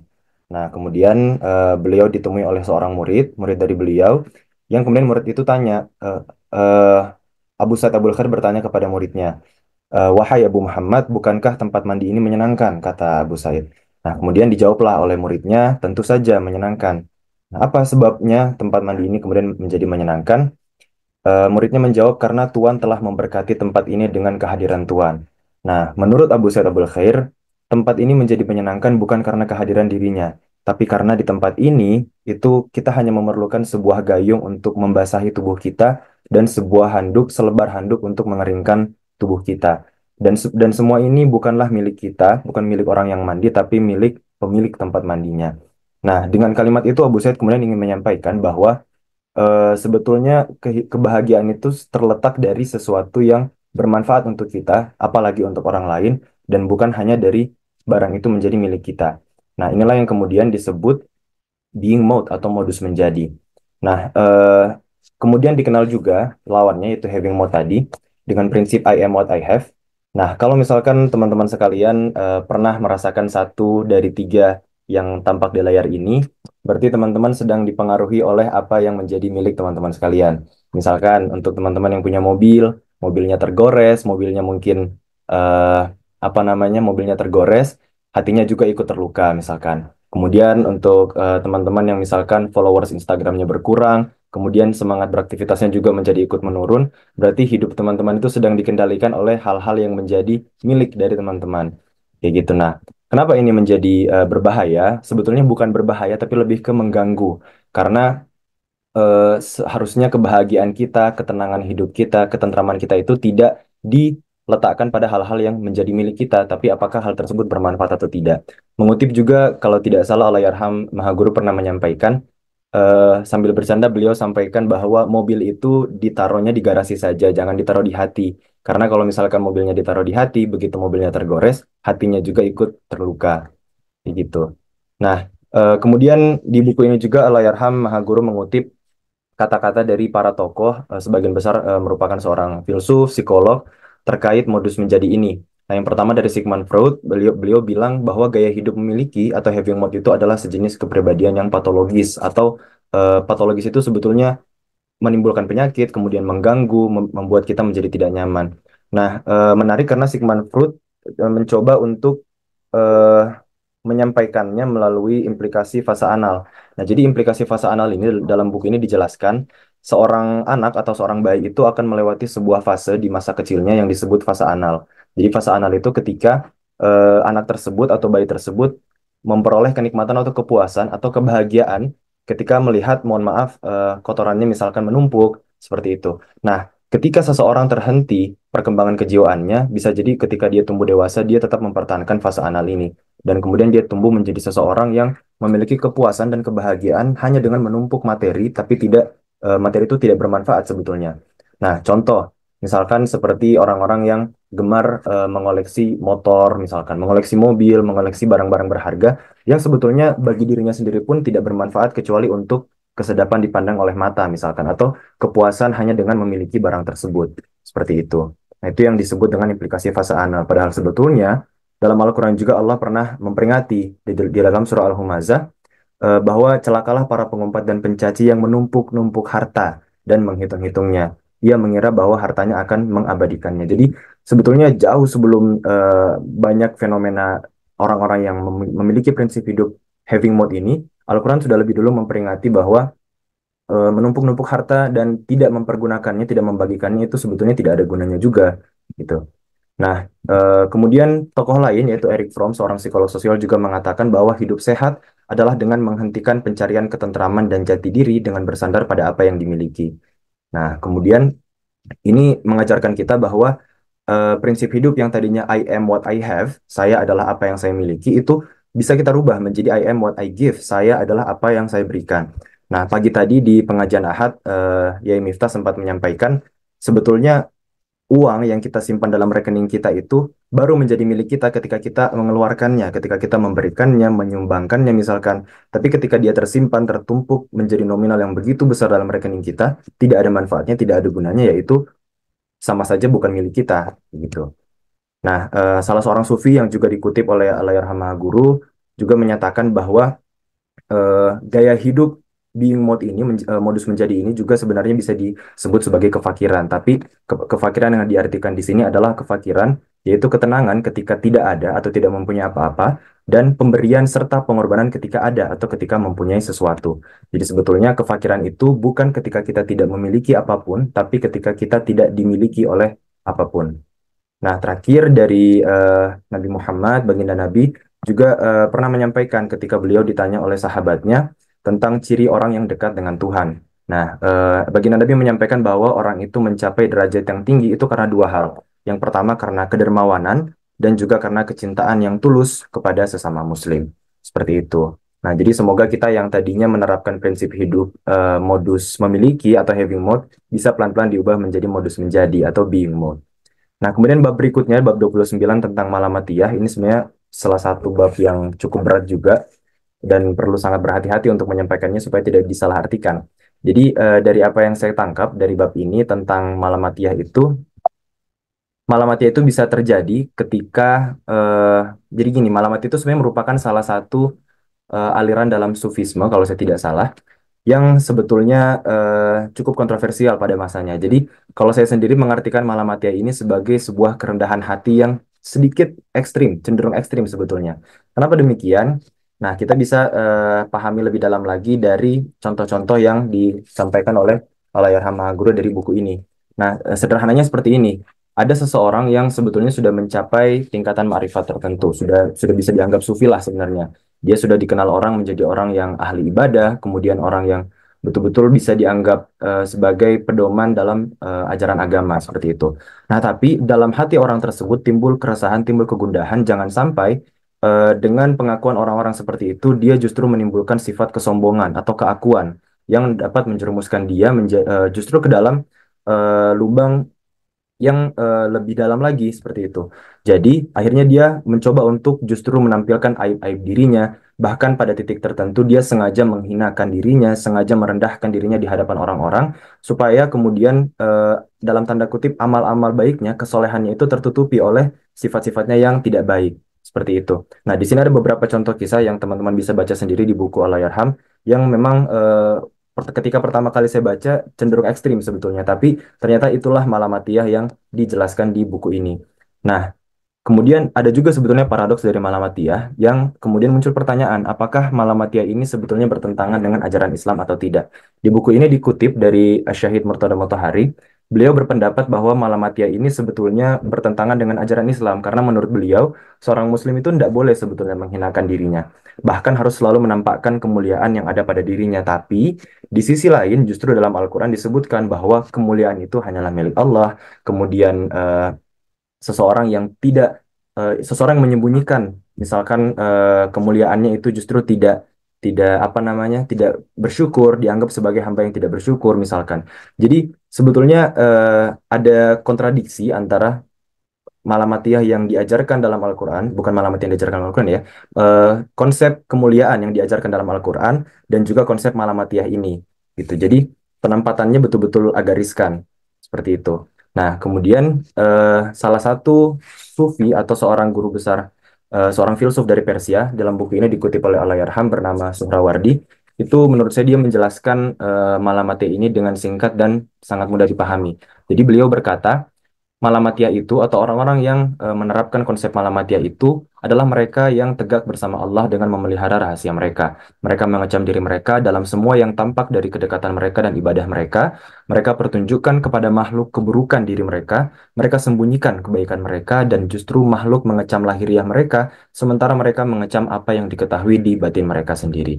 Seperti itu untuk uh, bagian Malamatia. Nah, kemudian berikutnya kita masuk ke uh, bab 30. Ini bercerita tentang surat dari Ibnu Arabi. Jadi Ibnu Arabi ini merupakan seorang guru besar tasawuf, seorang sufi, juga seorang penyair. Uh, nama lengkapnya cukup panjang, jadi beliau ini dikenal sebagai Ibnu Arabi. Nah, suatu saat beliau ini pernah uh, berkirim surat kepada sahabatnya bernama Abu Muhammad Al-Mahdawi yang tinggal di Tunisia. Isi suratnya cukup panjang dan cukup menarik sebetulnya untuk dibaca karena sebetulnya isi surat Ibnu Arabi ini sangat amat relevan dengan apa yang terjadi di masa modern ini sebetulnya. Nah, singkatnya kalau misalkan uh, saya mau ringkas, isi surat Ibnu Arabi itu adalah uh, sebuah peringatan bahwa pada masa ini semakin banyak pemakai jubah Islam tapi hatinya tertimbun oleh dunia. Jadi banyak orang-orang yang pada tingkatan tertentu itu uh, melebeli dirinya misalkan sebagai seorang sufi, seorang uh, mubalik misalkan dengan segala macam ciri khas ciri khas seorang Islam tapi sebetulnya di dalam dirinya itu tertimbun dunia yang amat uh, luar biasa banyaknya gitu loh. Jadi kecintaan dunianya sangat dalam, tapi dia bungkus segalanya itu dengan uh, unsur unsur-unsur yang Islami. Nah, uh, contoh sebetulnya yang bisa kita temukan sehari-hari, walaupun ini mungkin pada tingkatan terendah dari apa yang dimaksud oleh uh, Ibnu Arabi dalam suratnya ini, bahwa banyak orang-orang yang sekarang mungkin mengaku uh, beragama Islam atau bahasa modernnya yang sempat kita kenal dulu adalah Islam KTP misalkan. Jadi mengaku sebagai uh, orang yang beragama Islam tapi tidak menjalankan ajaran Islam dengan baik misalkan atau bahkan dalam dirinya sendiri masih tertimbun kecintaan dunia yang luar biasa besarnya. Nah, ini merupakan peringatan dari Ibnu Arabi sebetulnya bahwa di masa saat ini kita perlu berhati-hati, tidak hanya berhati-hati kepada orang yang seperti ini, tapi juga justru harus berhati-hati agar kita tidak menjadi orang yang seperti ini. Orang yang hanya memakai jubah Islam, tapi justru hatinya itu tertimbun oleh dunia dan seisinya. Seperti itu. Nah, berikutnya kita masuk ke pembahasan soal sudosofisme ini yang menarik sebetulnya. Jadi sudosofisme ini dari apa yang saya pahami di pembahasan uh, buku halaman akhir ini, sudosofisme itu terjadi ketika tasawuf itu disalahpahami. Nah, uh, jadi sebenarnya bagaimana seharusnya kita memahami tasawuf itu sendiri? Mungkin lebih lengkap dan lebih jelasnya bisa dijelaskan oleh orang yang memang mendalami ilmu tasawuf seperti Ustadz Bagas. Jadi saya hanya menyampaikan garis besarnya saja. Uh, dari buku ini saya kutip sebuah kalimat yang menurut saya menarik karena kalimat ini ditulis oleh Allahyarhamah Guru dengan berima dan ini bisa merangkum tasawuf yang sebenarnya menurut saya. Jadi dalam buku ini beliau tuliskan tasawuf itu berpijak pada syariat untuk menjalani tarekat agar mencapai hakikat. Nah ini merupakan uh, rangkuman tasawuf yang dirangkum sedemikian rupa oleh Allahyarham dalam satu kalimat yang cukup indah dengan menjelaskan apa itu tasawuf sebenarnya. Nah kemudian kita kembali lagi, apa itu sudosufisme? Nah, sudosofisme kan menurut uh, buku ini adalah ketika tasawuf itu disalahpahami. Jadi tasawuf itu sebetulnya uh, kalau kita mengimplementasikan ke kehidupan sehari-hari, dia itu seperti gaya hidup sehat sebetulnya. Jadi ketika kita menerapkan tasawuf, seharusnya secara otomatis keseluruhan aspek kehidupan kita itu bisa berubah menjadi lebih baik lagi. Nah, sedangkan sudosofisme adalah ketika seseorang menyalahgunakan tasawuf, menyalahpahami tasawuf, dia hanya mengambil beberapa bagian uh, ilmu ajaran agama saja untuk kepentingan pribadinya. Misalkan dia uh, ketika misalkan dia sedang kesulitan, dia mengambil doa-doa tertentu untuk uh, membantu kesulitannya, membantu dia keluar dari rasa sulit itu misalkan. Kemudian untuk beberapa kepentingan tertentu dia baca zikir-zikir tertentu. Apakah itu salah atau tidak? Mungkin kembali ke penilaian masing-masing. Tapi sekali lagi uh, kebanyakan sekarang orang yang orang mengenal itu sebagai tasawuf padahal sebenarnya tasawuf tidak seperti itu. Nah, jadi uh, kalau misalkan kita pakai uh, analogi sehari-hari, sudosufisme itu seperti obat yang hanya menyembuh, menyembuhkan penyakit penyakit-penyakit tertentu saja. Tapi tasawuf sendiri itu bagaikan gaya hidup sehat yang bisa menyembuhkan secara keseluruhan. Jadi sebetulnya tanpa tasawuf itu, tanpa gaya hidup sehat, obat-obatan ini juga tidak akan bekerja dengan maksimal. Kurang lebih seperti itu analogi yang disampaikan di buku ini oleh uh, Alayarham Mahaguru. Nah, praktisi sudosofisme ini kerap kali kita temukan di masa modern ini. Ag agak banyak orang-orang yang menerapkan sudosofisme tapi mengatakan bahwa sebenarnya yang mereka mereka jalankan itu adalah tasawuf. Seperti itu. Nah, eh, selanjutnya Mubalik Pop ini yang menurut saya salah satu pembahasan yang paling relevan ya di masa sekarang ini paling banyak kita temukan. Jadi uh, mubalik itu sendiri sebetulnya pertama kali istilahnya muncul itu ketika Nabi baginda Nabi itu menyampaikan pidato terakhir beliau di haji terakhir di Padang Arafah. Bunyinya mungkin teman-teman uh, pernah mendengar ruba mubalighin au amin samiin. Artinya orang yang menyampaikan itu lebih sering mampu memelihara ketimbang orang-orang yang hanya mendengarkan. Nah, setelah ini barulah muncul istilah mubalik itu sendiri ketika banyak orang yang berlomba-lomba untuk menyampaikan uh, hadis-hadis Nabi, menyampaikan ayat-ayat Al-Qur'an, terinspirasi dari pidato Nabi ini. Dari situlah muncul istilah mubalik. Nah, tapi seiring berjalannya waktu terjadi pergeseran makna mubalik. Dulunya mubalik itu dianggap adalah seorang ulama, kerap kali dia muncul sebagai fakih atau sufi. Di Indonesia sendiri kita mengenal panggilan-panggilan seperti kiai atau wali misalkan. Nah, zaman sekarang mubalik itu sepertinya siapa saja orang yang punya keterampilan berbicara dan dianggap mampu untuk menyampaikan hal-hal yang berkenaan dengan ajaran Islam. Nah, dengan mudahnya orang-orang itu kemudian bisa dilabeli sebagai ustadz, sebagai kiai, sebagai mubalik bahkan. Dan ini e, merupakan pergeseran, pergeseran makna dari mubalik yang sebenarnya. Nah, e, kita temukan juga akhirnya timbullah mubalik pop itu sendiri yaitu yang seharusnya mubalik itu mengutamakan unsur keilmuan dan kualitas ruhania, mubalik pop justru mengutamakan unsur komersial dan ketenaran. Ya kita bisa lihatlah zaman sekarang banyak mubalik-mubalik dalam tanda kutip yang justru kita lebih mengenal kehidupan pribadi mereka yang tidak ada sangkut pautnya dengan ajaran agama Islam, misalkan ketimbang unsur-unsur keilmuan dan ruhania yang disampaikan. Misalkan ustadz-ustadz yang uh, berkeliling uh, menampil apa membuat konten bedah rumah misalkan menampakkan kekayaan hartanya, menampakkan betapa luasnya rumah beliau misalkan. Kemudian ustadz-ustadz yang menjadikan uh, pembah apa membuat konten-konten yang agak jauh sebetulnya dari ajaran agama tapi untuk bisa relevan di hadapan uh, masyarakat umum, di hadapan media dibuat sedemikian rupa untuk mengutamakan unsur-unsur komersial. Seperti itu dan ini sangat banyak terjadi di masa modern seperti sekarang ini. Nah, kemudian uh, berikutnya adalah kultus martir Uh, ini mungkin singkat saja karena waktu juga tersisa kurang lebih dua menit lagi. Jadi kultus martir ini pertama kali sejarahnya itu timbul kurang lebih pada tahun 850 Masehi. Jadi pada saat itu ada seorang pendeta namanya Santo Perfectus. Uh, waktu itu dia lagi belanja di sebuah uh, pasar di Cordoba di Spanyol. Kemudian dia ditanya oleh beberapa orang Arab yang ada di sana. Dia diminta untuk menjelaskan perbandingan antara Yesus Kristus dan juga Nabi Muhammad. Nah, uh, awalnya dia menjelaskan dengan baik, tapi lama-lama mungkin karena dia diprovokasi uh, juga, akhirnya dia tersulut. Kemudian dia menghina Islam, menghina Nabi Muhammad, dan akibat itu dia dipenjarakan, dan pada akhirnya dia dibunuh. Nah, kematian Santo Perfectus ini merupakan uh, peristiwa martir pertama yang kemudian dicatat dalam Memorial Sanctorum. Nah, setelah kejadian ini, muncullah kemudian martir-martir baru dalam tanda kutip, sehingga kultus martir ini dengan cepat menjadi tren hingga menjadi lambang kebencian Barat terhadap Islam dan selama ratusan tahun di negeri-negeri Barat di Eropa umat Muslim kemudian dipersekusi, ditekan bahkan sampai dibunuhi. Nah, kemudian uh, kultus martir ternyata tidak hanya habis pada masa lalu, dia juga berlanjut sampai era modern sekarang ini. Kita bisa temukan beberapa kejadiannya. Nah, dalam buku ini Allahyarham menyebutkan beberapa tokoh, dua di antaranya ada Salman Rushdie dan juga Nagib Mahfud. Kedua orang ini uh, merupakan pengarang, penulis, ya novelis mereka meluncurkan buku-buku yang kemudian kontroversial dan dianggap menghina uh, ajaran tertentu, khususnya Islam. Nah, kemudian mereka juga berulang kali mendapatkan ancaman pembunuhan, bahkan ada beberapa yang berhasil sampai akhirnya mereka terbunuh.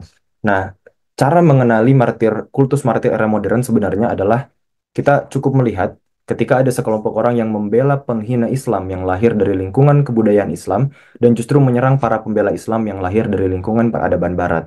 Nah, itu adalah contoh kultus martir era modern. Jadi kultus martir itu adalah sekumpulan orang-orang yang merasa dia bisa mati di jalan Allah atau kita mungkin lebih sering mengenalnya dengan istilah syahid dengan cara mengolok-olok agama lain. Kemudian dengan itu mereka akan diserang, mereka terbunuh dan mereka menganggap diri mereka adalah martir, menganggap diri mereka adalah syahid. Padahal sebetulnya tidak seperti itu.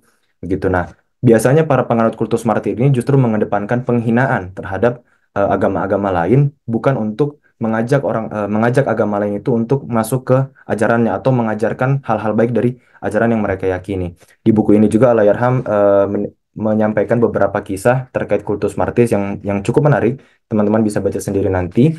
Nah, kemudian uh, untuk pembahasan terakhir yaitu fundamentalis versus modernis. Di sini yang pertama kita coba untuk kenali dulu perbedaan dari fundamentalis dan juga modernis ini. Nah, jadi uh, yang pertama fundamentalis itu dikenal dengan orang-orang yang konservatif dalam pemikiran, kemudian formalistis dalam praktik keagamaan dan sangat literal dalam pembahasan atau pemahaman kitab suci. Nah, sedangkan orang-orang yang uh, modernis itu adalah orang-orang yang modern dalam pemikiran, kemudian substansial dalam praktik keagamaan, dan sangat liberal dalam pemahaman kitab suci. Nah, eh, bagaimana kemudian situasi dunia saat ini terkait fundamentalis dan juga modernis ini? Jadi, eh, mengutip pandangan dari Azam, penasehat ekonomi senior di PBB yang dalam buku ini dikutip oleh Alayarham Mahaguru, beliau justru menanggapi perseteruan di antara kedua eh, pihak ini, yaitu fundamentalis dan modernis, perlu dipelihara karena justru dapat mendorong pembaharuan kehidupan umat manusia. Jadi sebenarnya walaupun terjadi sering sering kali terjadi pertikaian antara kedua kelompok ini, terjadi perbedaan pendapat dan kontradiksi, justru perlu dipelihara dipelihara dinamikanya untuk uh, menjadi pembaharuan atas kehidupan umat manusia. Nah, uh, untuk mengenal lebih jauh tentang fundamentalis modernis ini, ada lima dimensi konflik yang secara lengkap teman-teman bisa baca di buku ini. Yang pertama kita kenal transendensi imanensi, yaitu singkatnya dalam Al-Quran itu, menurut kaum fundamentalis atau orang yang memiliki paham fundamentalis, Tuhan itu adalah uh, sosok yang transenden. Jadi uh, sosok yang dianggap jauh dari makhluknya, seorang uh, sesosok yang adil, keras dan jauh dari makhluknya. Sedangkan untuk kaum modernis menganggap Tuhan itu sebagai imanensi, sosok yang imanensi yaitu yang maha kasih, maha sayang dan maha lembut. Kemudian uh, kesatuan keragaman, autentisitas keterbukaan dan yang lainnya itu juga uh, mewakili perbedaan pandangan dari kaum-kaum uh, fundamentalis dan juga modernis tentang penggambaran mereka, pemahaman mereka terhadap konsep ketuhanan, konsep beragama, bahkan uh, sampai ke yang lebih detail lagi mungkin sampai ke akidah, fikih dan lain sebagainya. Yang secara lengkapnya teman-teman bisa baca dengan sangat-sangat uh, menarik dan sangat-sangat luar biasa Allah Yarham paparkan di buku halaman akhir ini. Seperti itu mungkin uh, karena waktu juga sudah uh, selesai, waktu sudah habis, saya ucapkan terima kasih. Mohon maaf apabila banyak kekurangan yang nantinya mungkin akan dilengkapi oleh guru kita Ustadz Bagas. Terima kasih. Assalamualaikum warahmatullahi wabarakatuh. Waalaikumsalam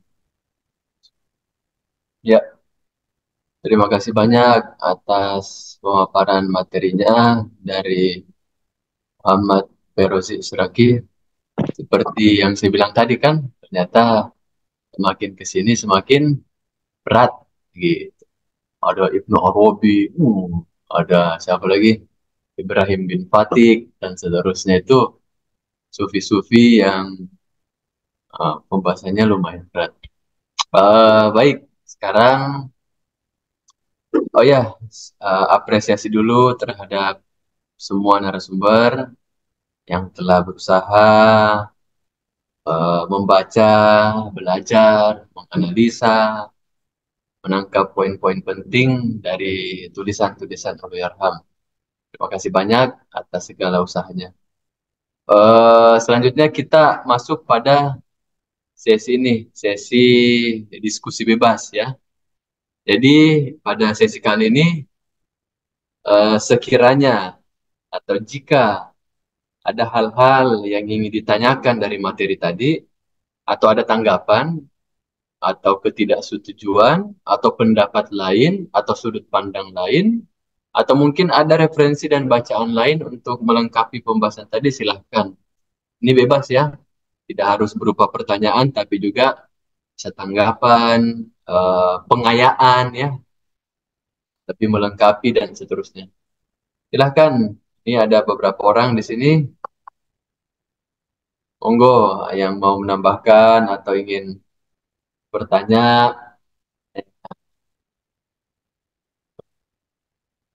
Yang bisa menyimpulkan semua lima-lima itu tadi, lima yang disampaikan pemateri itu Ustadz Mul ya mungkin beliau yang bisa dipulkan ya silahkan jika ada kawan-kawan khususnya Ijabiyun Muda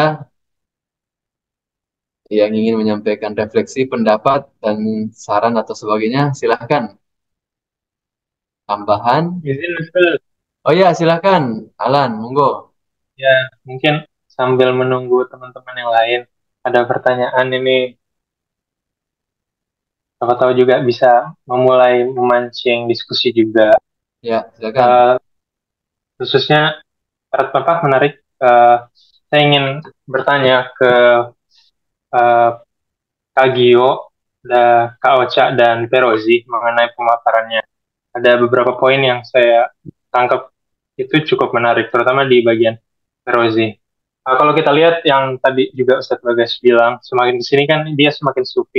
Tapi semakin ke sini lagi, dia semakin ke sosial.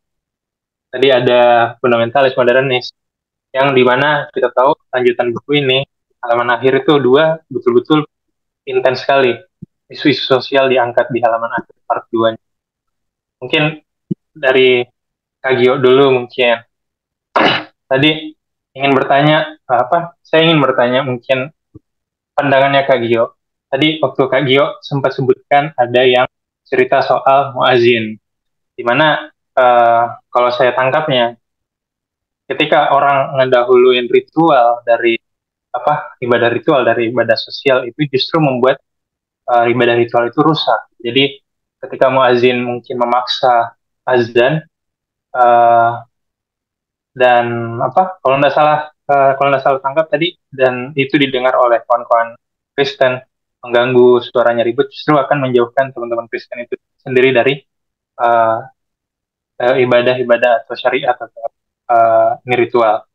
Uh, kalau saya lihat ini mungkin jadi benih-benih ya uh, Maha Guru untuk menulis dadah nantinya dahulukan akhlak di atas fikih.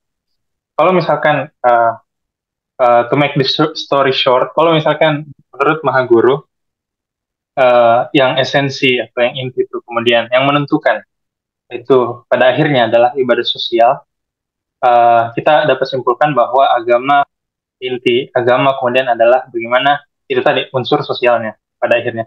Nah uh, dari pandangannya Kagio sebagai mungkin mahasiswa hukum uh, melihat kalau tidak salah di uh, narapa diskusi hukum itu pun ada soal hukum alternatif dan hukum utama positif dan khususnya hukum uh, berbasiskan Islam. Hukum Islam yang publik bukan yang apa bukan hukum jurisprudensi tapi ada hukum publik. Nah kalau misalkan pada akhirnya agama itu intinya adalah uh, sosial terus apa bedanya kemudian hukum publik Islam dengan hukum positif yang seperti biasa begitu? Mungkin uh, dimohonkan pencerahannya dari uh, Kak Gio ini. Mungkin itu itu saja dulu mungkin untuk memulai ya pertanyaan pertama seperti itu. Ya kan, ya karena ya karena kan hukum hukum biasa kan juga dasarnya sosial itu sendiri seperti itu. Uh, iya, ini mungkin juga akan nyambung ini ya apa menarik uh, soal itu tadi. Uh, mungkin ada nyambungnya juga dengan pilar ijabi sih sebenarnya mengenai apa uh, seorang pecinta materi tapi jubahnya Islam. Uh, jadi inti esensinya itu sendiri bukan Islami, cuma dia memakai jubah Islam saja kayak gitu.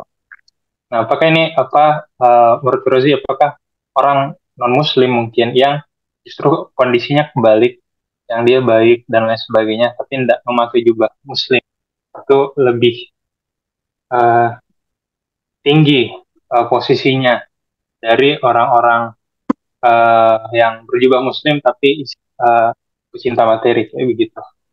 Mungkin itu pertanyaan sederhana saja. Terima kasih. Monggo, silakan, Rozi. Luar biasa Kak Alan ya. Bagi beliau sederhana Ustaz, tapi ternyata berat sekali pertanyaannya. Oh.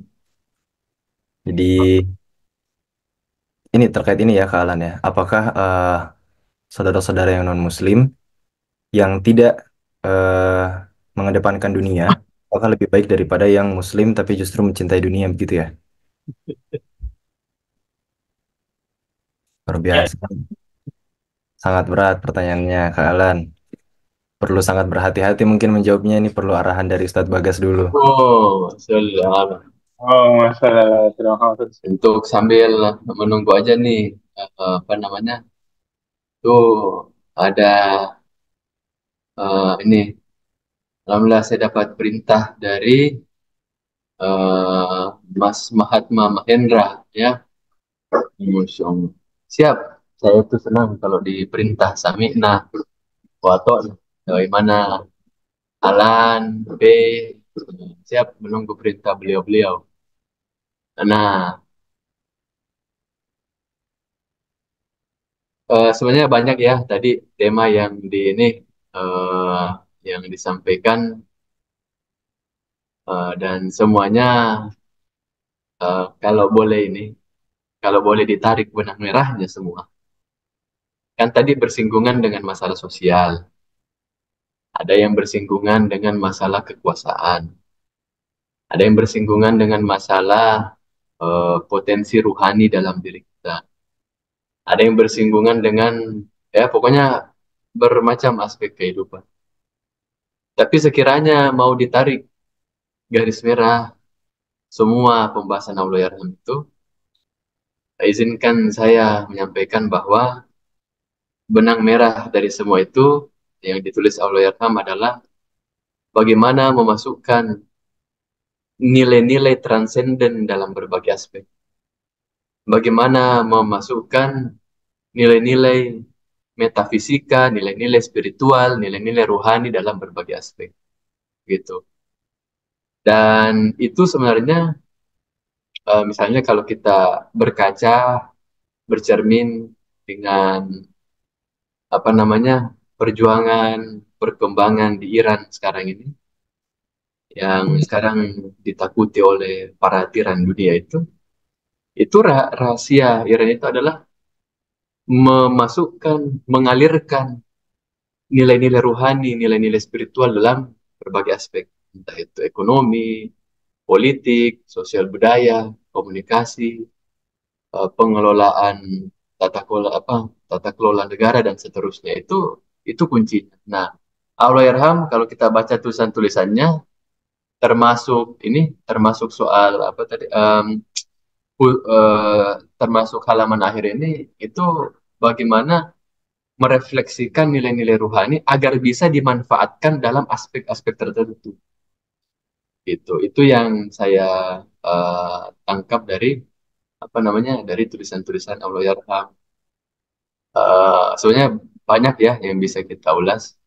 Tapi uh, sekiranya izin boleh ini, izin boleh apa namanya memberikan perspektif juga ya. Sekiranya diizinkan ini apa oleh host, para guru, Ustaz Buliawan, kiranya boleh diizinkan. Saya nunggu izin dulu. Kalau diizinkan, uh, insya Allah akan berbagi.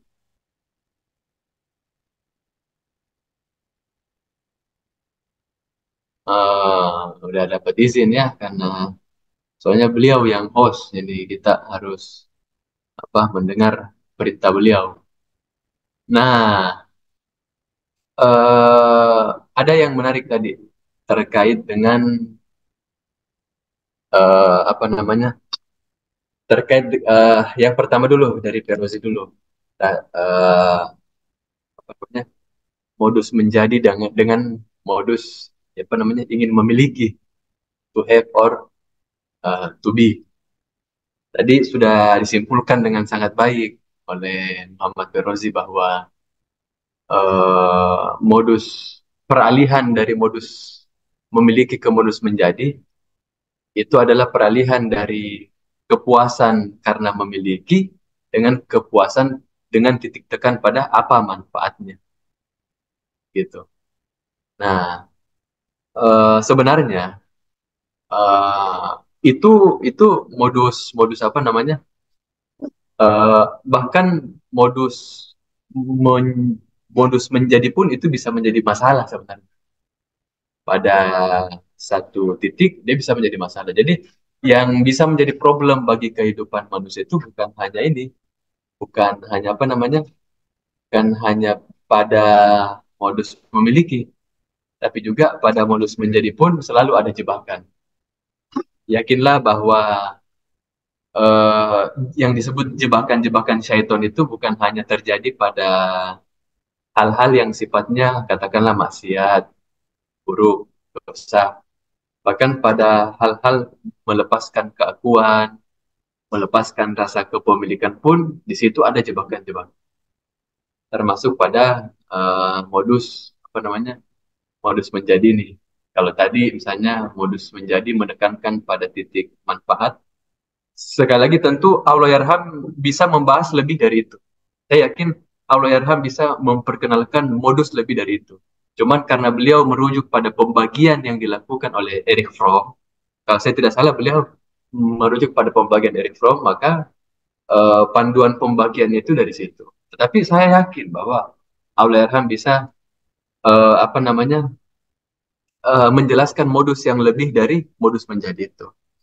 Nah, kalau kita misalnya uh, merujuk apa namanya ajaran-ajaran ahlul bait, isyarat-isyarat dari Quran itu di atas modus menjadi itu ada namanya ini uh, yang saya istilahkan dengan modus menghilangkan nisbah itu boleh jadi orang yang sudah sampai pada modus menjadi ya yang jadi yang dia ingin itu hanya memberi memberi dan seterusnya itu bisa jadi tidak lepas dari jebakan syaitan. Gitu nah Al-Quran memperkenalkan modus melepaskan nisbah itu. Ketika uh, apa pun capaian yang kita capai apa pun perolehan yang kita peroleh entah itu berupa ilmu entah itu berupa apa namanya uh, bisa mengajar ini dan itu bisa menyampaikan hal-hal yang baik uh, bisa membantu orang bisa bersedekah dengan uh, apa namanya dengan terus menerus dengan rutin istiqomah dalam kebaikan dan istiqomah dalam kebiasaan-kebiasaan yang baik itu tidak akan menjadi sempurna dia tidak akan membentuk apa namanya uh, dia tidak akan menyempurnakan ruhani kita dia tidak akan mengantarkan uh, batin kita menuju perjalanan kesempurnaan yang jauh lebih lagi. Kalau semua perolehan itu semua capaian dalam hal-hal yang baik itu masih dinisbatkan pada diri kita. Gitu jadi kita masih melihat itu sebagai hasil usaha kita kita masih melihat uh, capaian itu sebagai uh, usaha kita, kita yang berjuang. Wal walaupun orang yang melakukan itu sudah pada modus menjadi. Dia bukan lagi menumpuk-numpuk seperti yang dikutip tadi Berozi al-Humaza itu walulikul lihumazatil lumaza alladhi jama'ama lau wa'ad dada. Jadi dia jama'ama dan wa'ad dada. Dia mengumpul-ngumpulkannya dan menghitung-hitungnya.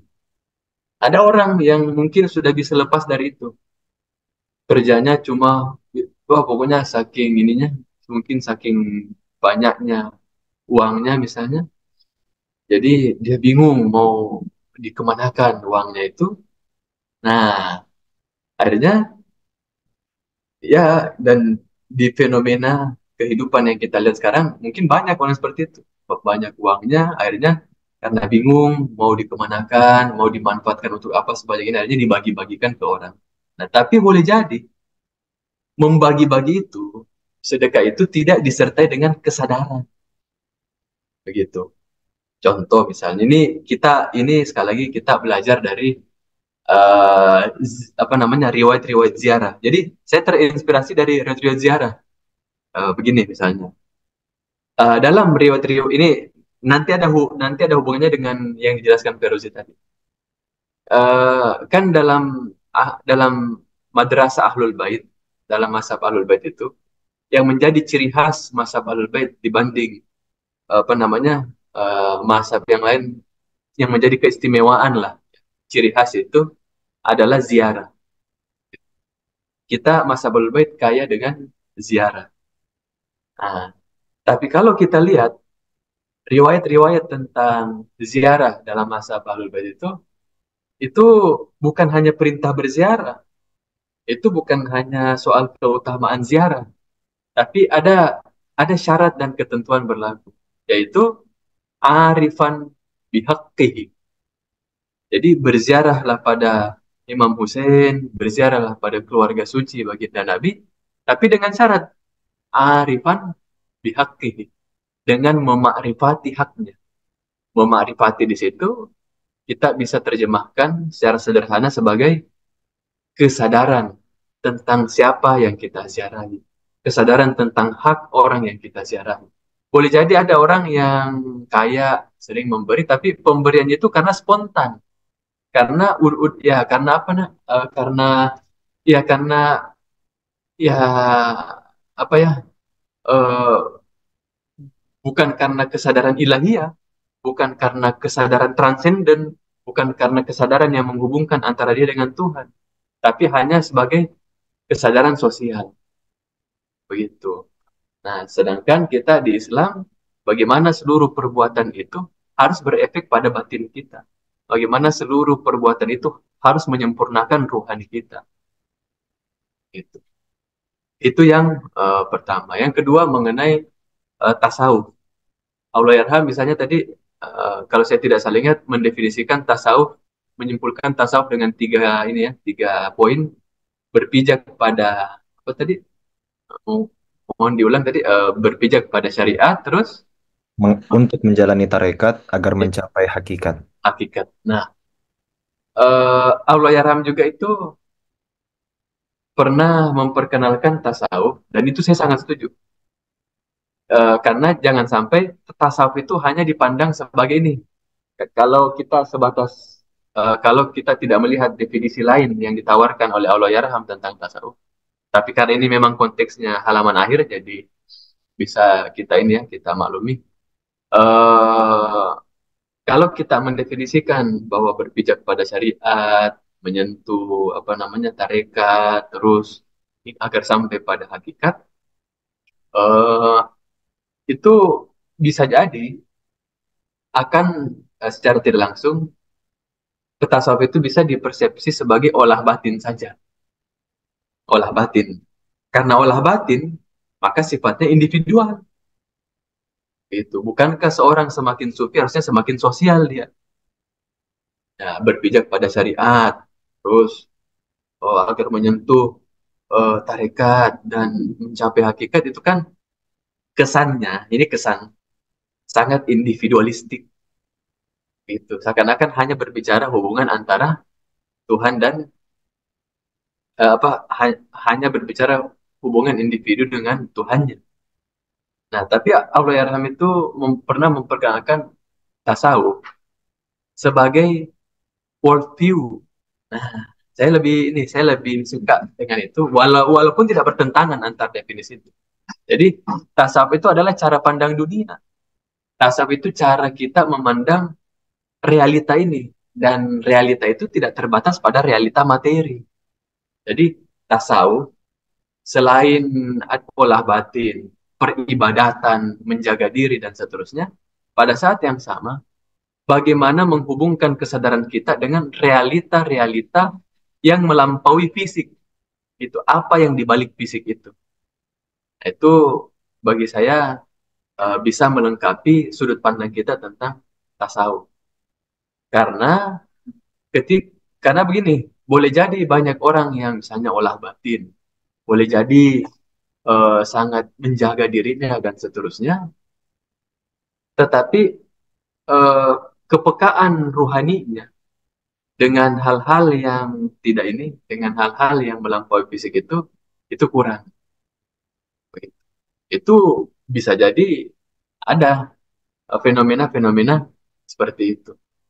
Itu mungkin uh, refleksi-refleksi singkat saja dari saya. Tentunya ini sangat-sangat ini ya sangat-sangat kurang apa yang saya sampaikan. Dan insya Allah saya yakin kawan-kawan itu dengan saya melihat tadi bagaimana pengayaannya bagaimana menangkap poin-poin dari itu, itu luar biasa. Insya Allah bisa melebihi. Monggo kalau ada yang mau ini. Uh, yang mau apa namanya? Yang mau menambahkan karena ini sesi diskusi bebas ya sekitar 25 menit sampai 30 30 menit setengah jam. Silakan. Ya izin bertanya lagi Ustaz. Ya silakan silakan. Ada Kak Ocha ya di sini ya ya sebagai mahasiswa psikologi tadi sempat juga menyinggung soal uh, menghilangkan keakuan seperti itu uh, nah di psikologi kan uh, ini juga maksudnya lagi saya kaji juga begitu. Definisi keakuan atau ego ego itu maknanya banyak seperti itu. Hmm. Dari apa yang Kak Ocha pahami sebagai ego atau keakuan itu apa sih? Uh, mungkin boleh di share uh, pandangannya gitu Kak Ocha. Itu aja sih sebenarnya pertanyaanku seperti itu. Terima kasih. Karena ya, di psikologi itu terma ego itu banyak ya. banget Silakan Mbak Ocha. Tuh ada pertanyaan soal ego. Oh, Iya, makasih Lan. Oke, em, kalau berdasarkan dari pengetahuan yang ku tahu itu dan maksudnya ego yang di sini itu mungkin lebih ke hal-hal yang duniawi dan berlebihan. Eh, misalnya seperti eh, kita yang um- umur sekarang itu misalnya kayak misalnya seperti ego yang ku tahu se secara umum Ji. Saya saya kurang tahu sih ego secara psikologi itu kayak bagaimana. Cuman kalau dari pemahamanku itu ego yang ku tahu itu lebih ke misalnya misalnya di sehari-hari kayak makan yang terlalu berlebihan. Terus misalnya buat teman-teman yang merokok merokok yang terlalu berlebihan. Ego yang saya tahu lebih ke hal-hal yang seperti itu. Eh melakukan sesuatu yang terlalu berlebihan. Kalau misalnya makan secukupnya kan itu cukup. Atau misalnya ada yang mau pokoknya melakukan hal-hal yang berlebihan menurutku itu egois begitu sih kurang lebih lan oh ya, eh, saya izin ini Eh, masih terkait modus. Ya, ma- masih terkait modus tadi itu. Itu sebenarnya ini saya kepikiran. Ya, saya jadi kepikiran. Eh, itu sebenarnya modus apa namanya? Modus eh, modus menjadi itu, modus menjadi itu sebenarnya orang yang berada pada modus menjadi tidak menutup kemungkinan dia berada juga pada modus memiliki. Begitu. Ketika ketika hasil dari modus menjadinya itu ya kan? Itu dia merasa memilikinya. Begitu. Jadi orang jadi dia bisa jadi modus menjadi jadi ini mungkin kasus langka atau banyak ya, saya tidak tahu. Tapi pada tahap tertentu, pada titik tertentu, orang yang di modus menjadi itu pada saat yang sama dia bisa pada modus memiliki. Yang tadinya dia sudah bisa meninggalkan jebakan modus memiliki, begitu masuk di modus menjadi, dia tidak sadar bahwa dia terjebak dalam modus memiliki dalam rupa yang lain, dalam warna yang lain. Saya jadi teringat kata seorang sufi. Saya pernah baca itu di bukunya seorang ulama Hambali, namanya Ibnul Jauzi. Ibnul Jauzi itu menulis sebuah buku judulnya uh, Tablis Iblis, ya Total Dis Iblis, begitu. Jadi tipu daya iblis. Kata seorang sufi itu, uh, aku berusaha meninggalkan ria, begitu katanya. Aku berusaha meninggalkan ingin dipuji, tapi setelah aku berusaha meninggalkan ria itu, berusaha meninggalkan ingin disanjung, ingin dipuji, ternyata ria itu, ingin dipuji itu selalu saja hadir dalam warna yang lain. Begitu katanya. Nah, sama seperti modus menjadi itu. Dalam modus menjadi, ada jebakannya lain. Ini izinkan saya membacakan riwayat Imam Ali di Nahjul Balaghah. Dan ini bagian dari jebakan-jebakan itu. Uh,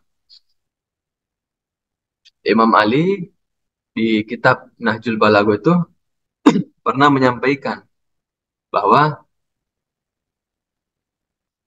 ada tiga ini, ada tiga peluang atau tiga kesempatan. Ini tiga kesempatan terbaik ya, tiga peluang atau tiga kesempatan terbaik bagi setan, setan untuk menghancurkan ini, untuk menghancurkan amal orang-orang yang baik. Jadi syaitan itu dia lebih, so, sebenarnya ketertarikannya bukan menghancurkan ini, bukan menghancurkan orang-orang yang buruk, orang-orang yang berperangai buruk misalnya.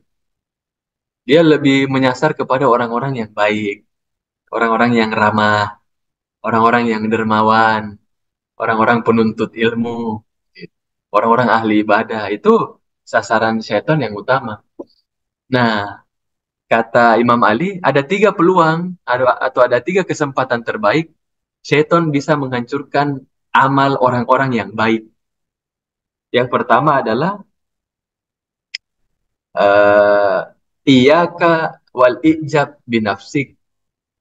Jadi jebakan pertama itu yang bisa membuat setan menghancurkan orang yang baik itu adalah mengagumi diri sendiri.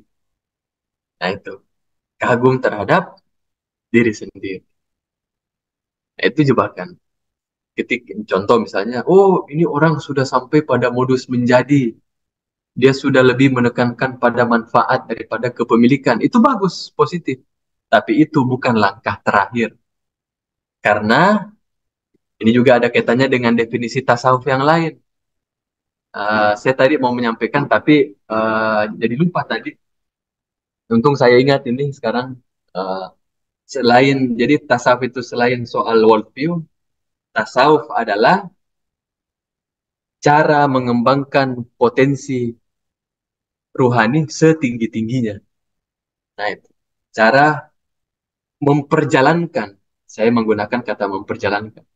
Cara memperjalankan potensi ruhani kita, cara memperjalankan ruh kita, jiwa kita setinggi-tingginya. Karena cuma ada satu tahap yang tidak bisa dicapai oleh jiwa, yaitu jadi Tuhan itu sendiri. Gitu. Itu cuma itu cuma satu tahapan yang tidak bisa dicapai oleh jiwa manusia, yaitu jadi Tuhan itu sendiri. Tapi jiwa itu kalau dia terus disempurnakan, orang bisa jadi wali Allah, orang bisa jadi kekasih Allah dan seterusnya. Karena dia mau karena perjalanan kesempurnaan apa namanya? perjalanan kesempurnaan hamba itu itu bahkan katanya tidak tahu mana pangkal ujungnya, mana batasnya. Batasnya itu cuma satu, yaitu jadi Tuhan itu sendiri. Jadi tasawuf adalah perjalanan menyempurnakan jiwa, perjalanan menyempurnakan ruhani. Nah, itu poin pertama. Jadi mengagumi diri sendiri. Itu bisa jadi jebakan syaitan. Nah, yang kedua, jebakan yang kedua adalah terlalu mengandalkan atau terlalu menaruh kepercayaan pada apa-apa yang dikagumi dari diri kita. Itu. Kalau tadi mengagumi diri sendiri, nah yang kedua ini adalah terlalu percaya, terlalu bergantung, terlalu bersandar, terlalu mengandalkan, terlalu menaruh kepercayaan pada hal-hal yang kita capai, perolehan kita, capaian kita. Entah itu ilmu, kemampuan dalam melakukan sesuatu, punya skill dalam bidang tertentu, uh, pencapaian hidup, uh, kebugaran fisik, rupa harta benda dan seterusnya. Itu ternyata dalam hadis Imam Ali terlalu mengandalkan itu, terlalu melihat itu sebagai bisa menyelesaikan segalanya, nah itu jebakan syaitan. Nah, yang terakhir, poin ketiga adalah ingin disanjung. Yang terakhir, ingin di ingin disanjung. Boleh jadi orang yang bersedekah itu, walau dia kan katanya modus menjadi itu di, ditandai dengan apa tadi? Uh, harta yang kita miliki itu bukan harta yang kita simpan-simpan, harta yang kita kekang, harta yang kita tahan. Tapi yang kita miliki adalah apa yang kita keluarkan. Tapi sekali lagi mengeluarkan itu, melepaskan rasa kepemilikan itu terhadap harta benda dengan cara memberi itu bukan akhir perjalanan. Itu baru tahap-tahap awal boleh jadi dalam perjalanan sufi itu. Dalam perjalanan tasawuf itu. Karena ketika di situ masih ada menisbatkan pada diri kita atas pencapaian itu, nah itu terjebak lagi atau ingin disanjung gitu. Mungkin hanya itu apa namanya uh, sekedar berbagi refleksi saja dari menyambungkan dari apa yang uh, disampaikan kawan-kawan tadi. Ya kita tutup ya dengan doa.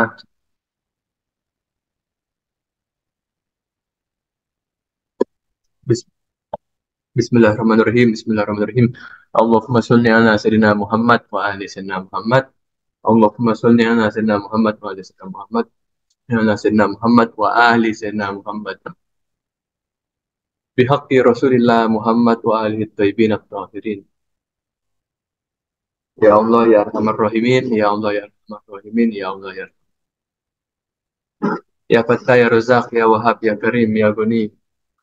Bihaulillah wa biquwatik wa binasrik wa biilmik wa bi iradatik wa biizzatik wa bikamalik wa bikaramatik. Bihabibika wa nabika Rasulillah Muhammad wa alihi.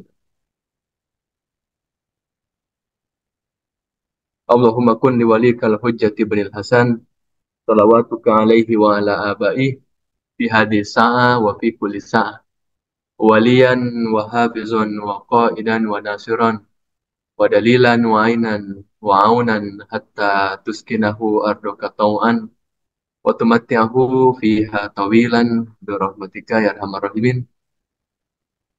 Rabbi firli wa li walidayya warhamhuma kama.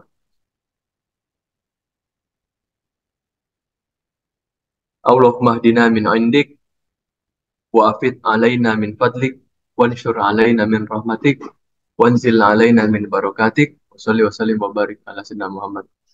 Wa alif baina qulubina wa aslih dhata bainina wa hdina subul salam wa najjina minaz zulumati lan nur Allahumma jalna minar radin al mardiyin Allahumma jalna minal muttaqin Allahumma jalna minal muslimin Allahumma jalna minal faizin wa minal syakirin wa minal hadin al mahdiin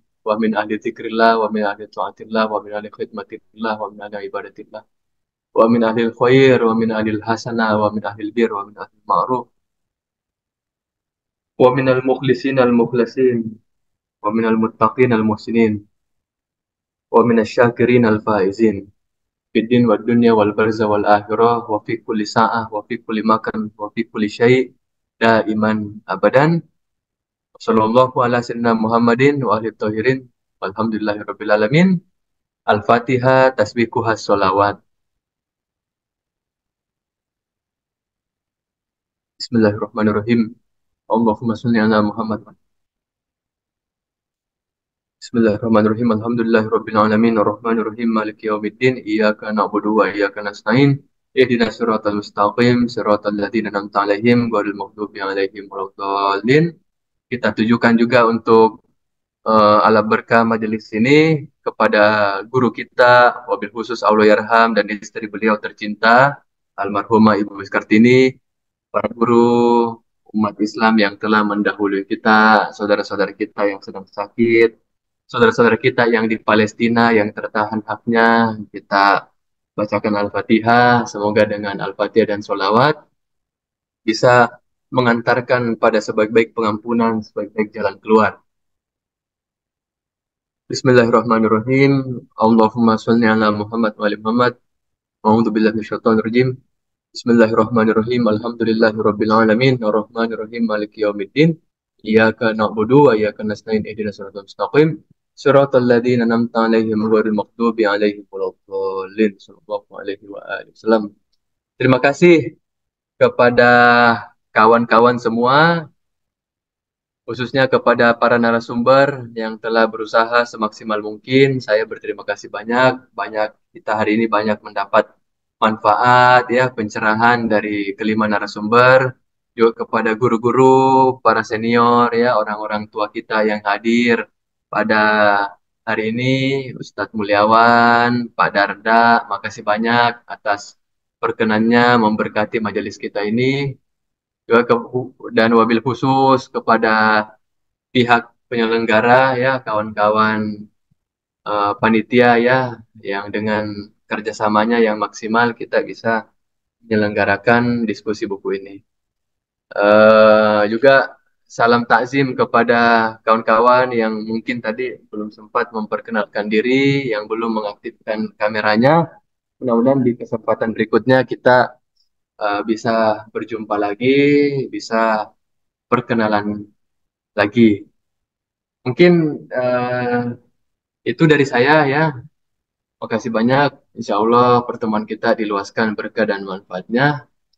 Wa ma taufiqi illa billah alaihi tawakkaltu wa ilaihi unib. Sebelum